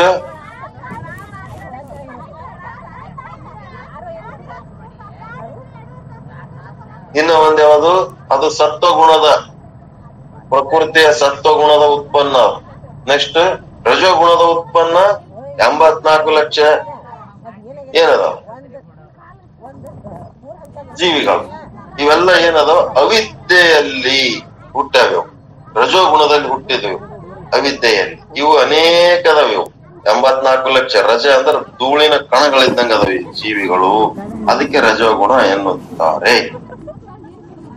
ಅದಕ್ಕೆ ಕಾರ್ಯವಾದ ಇಂದ್ರಿಯ ಮತ್ತು ಮನಸ್ಸು ಆಮೇಲೆ ಅದೇ ಅದಲ್ರಿ ಸತ್ವ, ರಜ, ತಮ ಅಂದ್ರ ಮಾಯೆ. ಮಾಯೆಯ ರಾಜ್ಯಕ್ಕ ಒಡೆಯರು ಈಶ್ವರ. ಇಲ್ಲಿ ಏನ್ ಬಂತು ಅವಿದ್ಯೆ. ಅವಿದ್ಯೆ ರಾಜ್ಯಕ್ಕೆ ಒಡೆಯ ಯಾರು? ಜೀವ. ಜೀವ. ಹ್ಮ್. ಎರಡನೇ ಕಲಾದಾಗ ಓದಿರಿದೆಲ್ಲ ಮುಂದ್ ಬರ್ತದ ತಮ ಪ್ರಧಾನ ಪ್ರಕೃತಿ. ಈ ರೀತಿ ಅವಿದ್ಯೆಯೊಳಗೆ ಲಯವಾಗಿದೆ. ಆದರೂ ಕೂಡ ಬೆಳಿಗ್ಗೆ ಎದ್ದ ಕೂಡಲೇ ಏನೊಂದು ಅರಿಯದಿದ್ದರೂ ರಾತ್ರಿ ಎಲ್ಲ ನಾನು ಸುಖವಾಗಿ ಮಲಗಿದ್ದೆ ಅಂತ ಹೇಳುತ್ತಾನೆ. ಇಲ್ಲಿ ಮೂರು ರೀತಿ ಜೀವರುಗಳನ್ನ ಅವ್ರು ಹೇಳ್ಯಾರ. ಜಾಗೃತಾವಸ್ಥೆಯಲ್ಲಿ ವಿಶ್ವ ಜೀವ ಸ್ವಪ್ನಾವಸ್ಥೆಯಲ್ಲಿ ತೈಜಸ್ ಜೀವ ಮತ್ತೆ ಸುಷುಪ್ತ ಅವಸ್ಥೆಯಲ್ಲಿ ಪ್ರಾಜ್ಞ ಜೀವ ಈ ರೀತಿ ಮೂರು ಜೀವರುಗಳು ಅಲ್ಲಿ ಕೆಲಸ ಮಾಡ್ತಾರೆ ಅಂತ ಹೇಳ್ತಾರೆ. ಆದ್ರೆ ರಾತ್ರಿ ನಿದ್ದೆ ಮಾಡಿದ ರೆಕಾರ್ಡಿಂಗ್ ವಿಶ್ವ ಜೀವ ಹೇಳ್ತಾನೆ ನೀವು ಮಲ್ಕೊಂಡವ ಅಲ್ಲವೇ ಅಲ್ಲ ನಿದ್ದಿ ಮಾಡ್ದವನು ಅಲ್ಲ ಕನಸ್ ಕಂಡವನು ಅಲ್ಲ. ಆದ್ರೂ ಇವ ಏನ್ ಹೇಳ್ತಾನ ತನ್ನ ಕನಸಿನ ಸುದ್ದಿ ಮಾತಾಡ್ತಾನ ಮತ್ ರಾತ್ರಿ ಸುಷುಪ್ತ ಅವಸ್ಥೆಯಲ್ಲಿ ನಿದ್ದೆ ಹಂಗಾಗ್ಯದ ಅನ್ನೋದ್ ಸಹಿತ ಇವ ಹೇಳ್ತಾನ. ಹಂಗಿದ ಸಾಧ್ಯ. ಆದರೂ ಕೂಡ ಬೆಳಿಗ್ಗೆ ಎದ್ದ ಕೂಡಲೇ ಏನೊಂದು ಅರಿಯದಿದ್ದರೂ ರಾತ್ರಿ ಎಲ್ಲ ನಾನು ಸುಖವಾಗಿ ಮಲಗಿದ್ದೆ ಅಂತ ಹೇಳುತ್ತಾನೆ. ಯಾರು ಹೇಳ್ತಾರ? ಯಾರು ಹೇಳ್ತಾರ? ಪ್ರಾರ್ಥನೆ ಜೀವ ಹಾಕೊಂಡ್ರಪ್ಪ ಪ್ರಾರ್ಥನೆ ಜೀವ. ತೈಜಸ್ ತೈಜಸ್ಸು ಮತ್ತು ಪ್ರಾಜ್ಞದ ಬಗ್ಗೆ. ವಿಶ್ವ ಹೇಳ್ತಾನೆ. ವಿಶ್ವ ಜೀವ ಹೇಳ್ತಾನೆ. ಈ ರೀತಿ ಹೇಳುವುದಕ್ಕೆ ಸಾಧ್ಯವಾಗಲು ಏನಾಯ್ತು? ಮೊನ್ನೆ ಹಜಾರ್ ಕೆ ಅವನು ಹೇಳವನೇನದನ ಇದ್ದ. ಇದ್ದಿದ್ದಿಲ್ಲ ಅಂದ್ರೆ ಹೆಂಗ್ ಹೇಳ್ತಾನ? ಆತ ಇದ್ದ. ನಿದ್ದಿ ಅಂತಂದ್ರೇನು? ನಿದ್ದಿ ಅಂದ್ರೆ ಏನ ಅರ್ಥ ಅಂದ್ರ ನೀ ಇದ್ದಿ. ನಿನ್ನ ನಿಜ ಸ್ವರೂಪ ಏನದ ಅಲ್ಲ? ಅದೇ ಆತ್ಮ. ಅದು ನೀನು ಇದ್ದೆ. ಸೂಕ್ಷ್ಮ ಶರೀರ ಇರ್ಲಕ್ಕಿಲ್ಲ, ಅಂತಃಕರಣ ಇರ್ಲಕ್ಕಿಲ್ಲ. ಆದ್ರೆ ನೀನಂತೂ ಇದ್ದಲ್ಲಪ್ಪ ಅದಕ್ ನೀನ್ ಇದ್ದದಕ್ಕ ನಿನಗ ಅದೆಲ್ಲ ಅನುಭವ ಆಗ್ಯದ ಅದಕ್ ನೀನು ಹೇಳ್ತಿದಿ. ಜಾಗೃತಾವಸ್ಥೆಯಲ್ಲಿ ಹದಿನೈದು ಬಲ್ಬ್ ಹಾಕ್ಯಾರಲ್ಲ, ಅಲ್ಲಿನೂ ನೀನ್ ಇದ್ದಿ. ಸೂಕ್ಷ್ಮ ಶರೀರ ಸ್ವಪ್ನಾವಸ್ಥೆಯಲ್ಲಿ ಬರೀ ಐದು ಬಲ್ಬ್ ಇದ್ದಾಗ ಅವು ಏನೇನ್ ಕೆಲಸ ಮಾಡ್ಲಕ್ಕೋ ಅದು ತಿಳ್ಕೊಳಕ್ ಅಲ್ಲಿನು ನೀನೇ ಇದ್ದಿ. ಮತ್ತ ಮುಂದ ಪೂರ್ತಿ ನಿದ್ದೆ ಎತ್ತಿದಾಗ ಇವ್ಯಾವು ಇಲ್ಲದಾಗ ನೀನೆಲ್ಲಿ ಹೋಗಿದ್ದಿ? ನೀನು ಅಲ್ಲಿ ಇದ್ದಿ. ಅಲ್ಲಿ ಕೇವಲ ನೀನೇ ಇದ್ದಿ. ಹಿಂಗಾಗಿ ಮೂರೂ ಕಡೆ ನೀನ್ ಇದ್ದ ಕಾರಣ ನಿನಗ ಒಬ್ಬನಿಗೆ ಗೊತ್ತು. ಜಾಗೃತ ಅವಸ್ಥೆ ಒಳಗೆ ಏನ್ ನಡೆದದ? ಸ್ವಪ್ನ ಅವಸ್ಥೆ ಒಳಗೆ ಏನ್ ನಡೆದದ? ಸುಷುಪ್ತ ಅವಸ್ಥೆ ಒಳಗೆ ಏನ್ ನಡೆದ ನೀನು ಎಲ್ಲಾ ಮೂರು ಅವಸ್ಥೆ ಒಳಗ ನೀನ್ ಇದ್ದದಕ್ಕೆ ನಿನಗ ಗೊತ್ತಾಗ್ಯದ? ಇದ್ದಿದ್ದಿಲ್ಲ ಅಂದ್ರೆ ಹೆಂಗ್ ಗೊತ್ತಾಗ್ತದೆ? ಈ ರೀತಿ ಹೇಳುವುದಕ್ಕೆ ಸಾಧ್ಯವಾಗಲು ಆತನು ಇದ್ದ ಅಂತಲೇ ಅರ್ಥವಾಗುತ್ತದೆ. ಆತನೇ ಇದ್ದಿದ್ದಿಲ್ಲ ಅಂದ್ರೆ ಹೇಗೆ ಹೇಳಲು ಸಾಧ್ಯ. ಸಾಕ್ಷ್ಯ ವ್ಯವಹಾರವಾಗಬೇಕಾದರೆ ಏನಾದರೂ ಒಂದು ಉಪಾಧಿ ಬೇಕೇ ಬೇಕು. ಅವಿದ್ಯಾ ವೃತ್ತಿಯ ಇಲ್ಲಿ ಉಪಾಧಿ. ಇಲ್ಲಿ ಅವಿದ್ಯೆ ಅಂತ ಏನದಲ್ಲ ಮಾಯೆ ಅಂತ ಇಡೀ ವಿಶ್ವ ಬ್ರಹ್ಮಾಂಡಕ್ಕೆ ಮಾಯೆ ಹೆಂಗದ? ನಿಮ್ಮೊಳಗ ಈ ಸಾಕ್ಷಿಯಲ್ಲಿ ಏನದ ಅಂದ್ರೆ ಅವಿದ್ಯೆ ಎನ್ನುವ ಉಪಾಧಿ. ಯಾವ ಬಲ್ಬ್ ಕೆಲಸ ಮಾಡ್ಯದಿಲ್ಲಿ ಅಂತಂದ್ರೆ ಅವಿದ್ಯೆ ಎನ್ನುವ ಬಲ್ಬ್ ಕೆಲಸ ಮಾಡಿದೆ. ನೋಡಿ ಅವಿದ್ಯೆ ಒಂದು ಉಪಾಧಿ ಬೇಕಲ್ಲ, ಸಾಕ್ಷಿಯ ವ್ಯವಹಾರವಾಗಬೇಕಾದರೆ ಏನಾದರೂ ಒಂದು ಉಪಾಧಿ ಬೇಕೇ ಬೇಕು. ಸಾಕ್ಷಿಯ ವ್ಯವಹಾರ ಮಾಡ್ಬೇಕಾದ್ರೆ.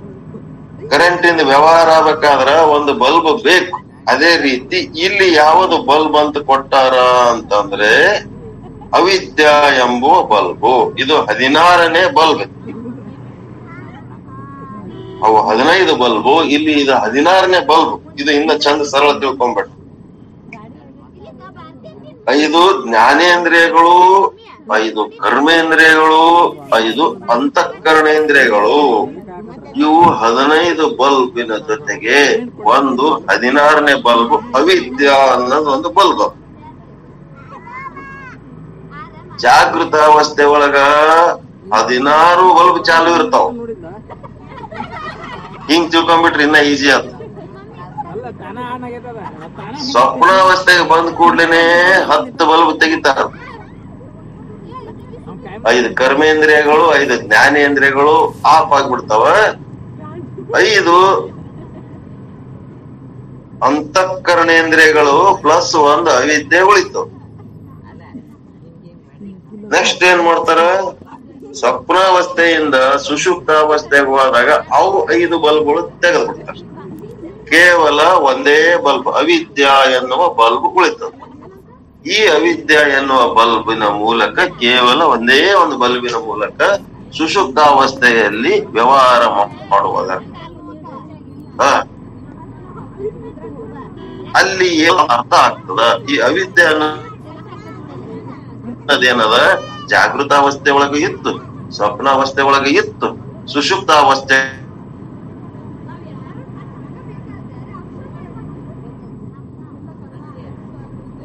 ಸಾಕ್ಷಿ ಚೇತನದ ಆತ್ಮದ ವ್ಯವಹಾರ ಮಾಡುವುದಕ್ಕೆ ಬೇಕಾಗಿತ್ತು ಹಿಂಗಾಗಿ ಸಾಕ್ಷಿ ಚೇತನ ಪ್ಲಸ್ ಉಪಾಧಿ.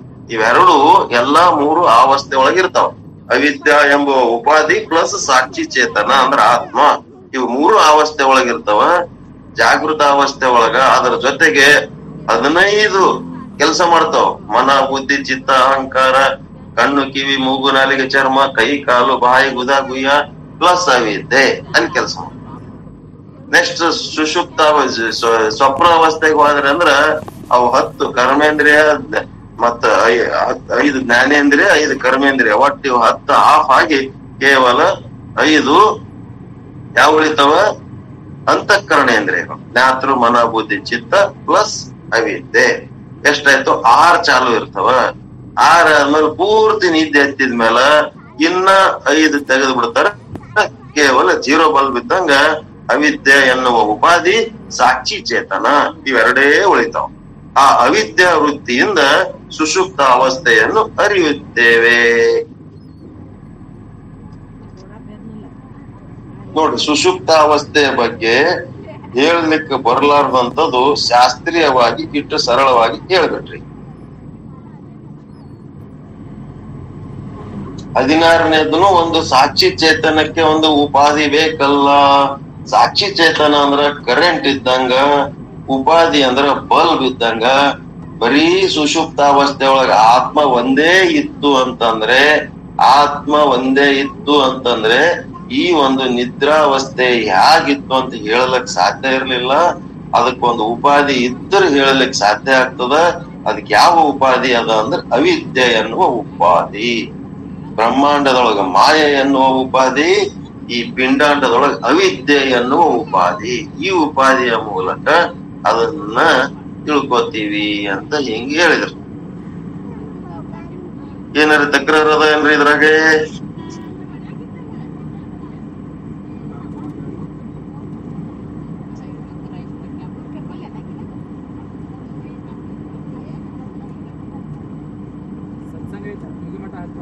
ಹೆಂಗ? ಅರ್ಥ ಆಯ್ತಾ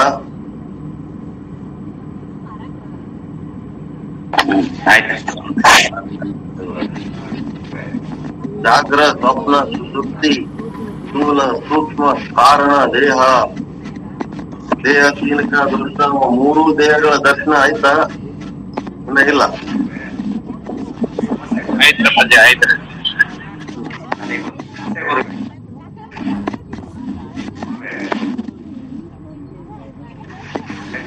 ಈಗ ನೀರ್ ತರ್ಬೇಕಾದ್ರೆ ಕೊಡಬೇಕು ಕೊಡಕ ಉಪಾಧಿ ಅಂತ.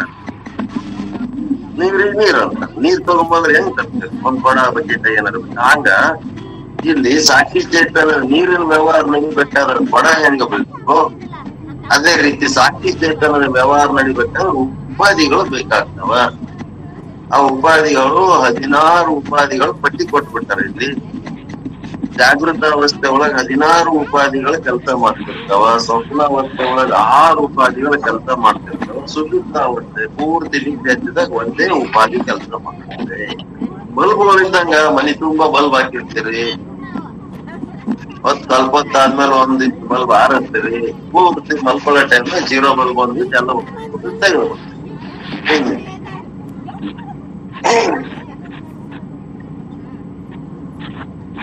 ಅವಿದ್ಯೆ ಎಂಬ ಉಪಾಧಿ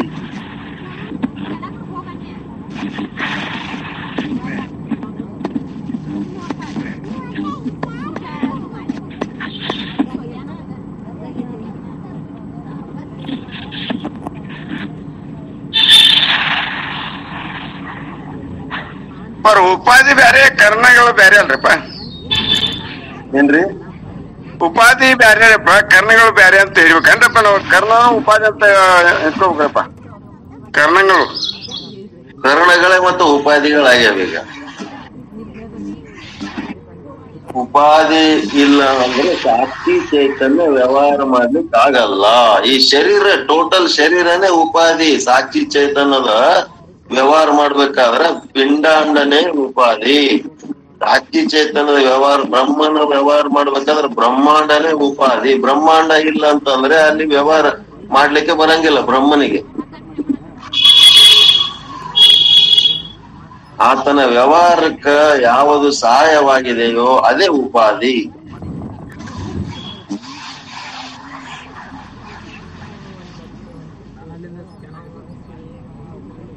ಅದಕ್ಕೆ ಸರಳ ಅರ್ಥದೊಳಗ ಘಟ, ಉಪಾಧಿ ಯಾವುದಕ್ಕಾಗಿ ನೀರಿನ ವ್ಯವಹಾರ ಮಾಡುವಾಗ ಆ ಕಡೆ ನೀರು ಈ ಕಡೆ ತಂದು ಹಾಕ್ಬೇಕಾದ್ರೆ ಘಟ ಬೇಕು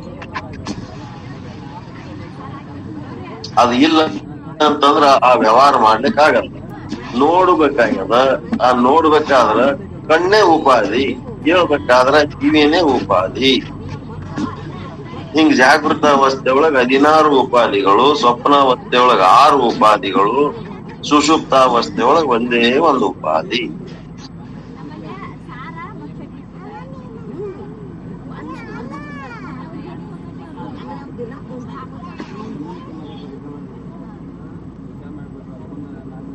ಏನೇನೋ ಹೇಳಿ, ಎಲ್ಲಿ ತಗೊಂಡು ಹೋಗ್ಬಿಟ್ಟು ನಮಗ ಅದಕ್ಕ ಇನ್ನ ಕೇಳಕತ್ತಾನ ಶಿಷ್ಯ ಎಪ್ಪತ್ತೊಂದನೇ ಪ್ರಶ್ನೆ ಒಳಗ ಹಿಂಗೆಲ್ಲ ಹೇಳ್ಬಿಟ್ರಿ. ಇದನ್ನ ಏನ್ ಮಾಡ್ಬೇಕು? ಏನ್ ಹೇಳಿವಿ? ನಾವೆಲ್ಲ ಲೀಸ್ಟ್ ಏನ್ ಬರ್ಸಿವಿ? ಅವೆಲ್ಲ ಲೀಸ್ಟ್ಗಳು ತಗೊಂಡು ಪ್ರಧಾನಿ ಅಂದ್ರೇನು ಮನಸ್ಸು ಅಂದ್ರೇನು ಇದ ಅಂದ್ರೇನು ಅದೇಂದ್ರೇನು ಎಲ್ಲಾನು ಇನ್ನೊಂದ್ಸಾರಿ ಇನ್ನೊಂದ್ಸಾರಿ ಬರ್ಕೊಂಡು ನೀಟಾಗಿ ನೋಟ್ಸ್ ಮಾಡ್ಕೊಂಡು ಅರ್ಥ ಮಾಡ್ಕೋಬೇಕು. ಈ ದೃಷ್ಟಾಂತದೊಳಗ ಏನ್ ಮಾಡಿದಪ್ಪ ಒಂದೇನ್ ಮಿಸ್ ಆಗ್ಯದಂದ್ರ ದೃಷ್ಟಾಂತದೊಳಗ ಈ ಎಕ್ಸ್ಪ್ಲೇನ್ ಮಾಡೋದ್ರಾಗ ಇದು ಬಂತು. ಯಾವುದು? ಅವಿದ್ಯ ಎನ್ನುವ ಉಪಾಧಿ ಬಂತು. ಇದ್ರೊಳಗೆ ಇಲ್ಲ ಅವಿದ್ಯೆ. ಬರೀ ಲೀಸ್ನೊಳಗೆ ಅವಿದ್ಯ ಇಲ್ಲ ಇಲ್ಲ. ಪಂಚ ಜ್ಞಾನೇಂದ್ರಿಯಗಳು, ಪಂಚ ಕರ್ಮೇಂದ್ರಿಯಗಳು, ಅಂತಃಕರಣಗಳು ಇಷ್ಟೇ ಬರದ ಅದಕ್ಕೆ ಇನ್ನ ಸ್ವಲ್ಪ ಡೀಟೇಲ್ ಆಗಿ ಹೇಳ್ರಿ, ಇನ್ನ ಒಂದ್ ಏನಾರ ದೃಷ್ಟ ಅಂತಿದ್ರಿ ಹೇಳ್ರಿ ಅಂತ ಎಪ್ಪತ್ತೊಂದನೇ ಪ್ರಶ್ನೆ ಮತ್ತೆ ಕೇಳಕತ್ತಾನ ಶಿಷ್ಯ. ಇಷ್ಟು ಹೇಳಿದರೆ ಸಾಲಲಿಲ್ಲ. ಇನ್ನೊಂದು ದೃಷ್ಟಾಂತವಾದರೂ ಕೊಡ್ರಿ ಅಂತೇಳಿ ಕನಿಷ್ಠ ಅಧಿಕಾರಿ ಇನ್ನೊಂದ್ ಸ್ವಲ್ಪ ಕ್ಲಾರಿಫಿಕೇಶನ್ ಕೇಳಲಿಕ್ಕತ್ತಾನ ಒಂದು ದೃಷ್ಟಾಂತ ಕೊಟ್ರೆ ಮೂರ್ ದಿನ ಆಗ್ಯದ. ಮತ್ತೊಂದು ದೃಷ್ಟಾಂತ ಹೆಂಗ್ ಕೊಡ್ತಾರ ನೋಡ್ಬೇಕು.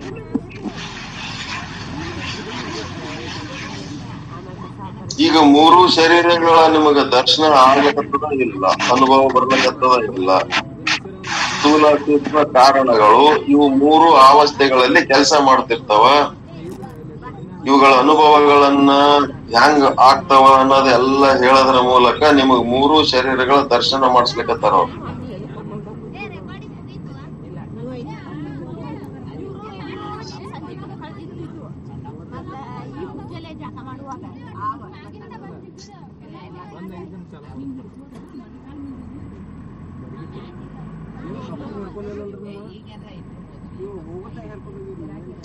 ಅಲ್ಲ ನೀವು ಮನೆಗೆ ಬಂದು ತರ್ಬೇಕಂದ್ರೆ ಹಬ್ಬ ತರ್ಬೇಕಂದ್ರೆ ಗಾಡಿ ರೀ ಇಲ್ಲಿ ನಿಮ್ಮ ಮನೆ ಬಾಗಿಲ ತರ್ಬೇಕಂದ್ರೆ ಗಾಡಿ ಈಗ ಅಲ್ಲ ಊಟನಾಗ ಹಾಕೊಂಡು ಹಾಕೊಂಡಿಲ್ಲ ನಮ್ಮ ಅಮ್ಮ ಏನಂದ್ರೆ ಇದು ಬರ್ತಾ ಇರ್ಕೊಂಡು ನಾನು ಅಂತಂದ ನಾ ತುಂಬ ನಾನು ನಿಮ್ಮ ಗಾಡಿ ತರ್ಬೇಕಲ್ರಿ ನಾವು ಹೀರಬೇಕು ಸುಮ್ಮನೆ ಎಲ್ಲ ಹೀರ್ಕೊಂಡು ಕಪ್ಪರ್ ತಿಂದು ಹೇಳಿದ್ರಲ್ರಿ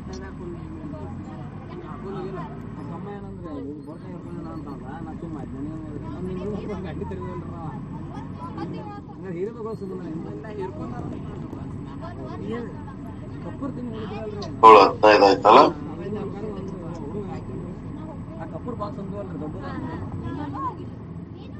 ಏನ್ ಮಾಡ್ತಾರ ಇನ್ನೊಂದು ದೃಷ್ಟಾಂತಕ್ಕೆ ಹೋಗೋದ್ರಕ್ಕಿಂತ ಮುಂಚೆ. ಇಲ್ಲಿ ತನ ಏನ್ ಹೇಳಾರ ಒಂದ್ ಸ್ವಲ್ಪ ಸಿಂಹಾವಲೋಕನ ಮಾಡ್ತಾರ. ಮಾಡಿ ಮುಂದೆ ಕರ್ಕೊಂಡು ಹೋಗ್ತಾರ. ಇಲ್ಲಿ ತನ ಇದೇನ ದೃಷ್ಟಾಂತ ಅವೆಲ್ಲ ಕೊಟ್ಟಿವಲ್ಲ, ಏನೇನ್ ಮಾಡಿವಿ? ಅಲ್ಲಿಂದ ಇಲ್ಲಿ ತನಕ ಸೂಕ್ಷ್ಮ ಶರೀರಕ್ಕೆ ಸಂಬಂಧಪಟ್ಟಂತೆ ಎಲ್ಲ ಸೂಕ್ಷ್ಮ ಶರೀರದ ಸಿಂಹಾವಲೋಕನ ನಾಳೆಗೆ ಮಾಡಿ ಈ ದೃಷ್ಟಾಂತದ ಬಗ್ಗೆ ಇನ್ನೊಂದ್ ಸ್ವಲ್ಪ ಡೀಟೇಲ್ ಆಗಿ ತಗೊಂಡು ಮುಂದೆ ಹೋಗ್ತಾರೆ. ಮತ್ತೇನು ಡೌಟ್ ಅದನ್ರಿ ಇದ್ರ ಬಗ್ಗೆ?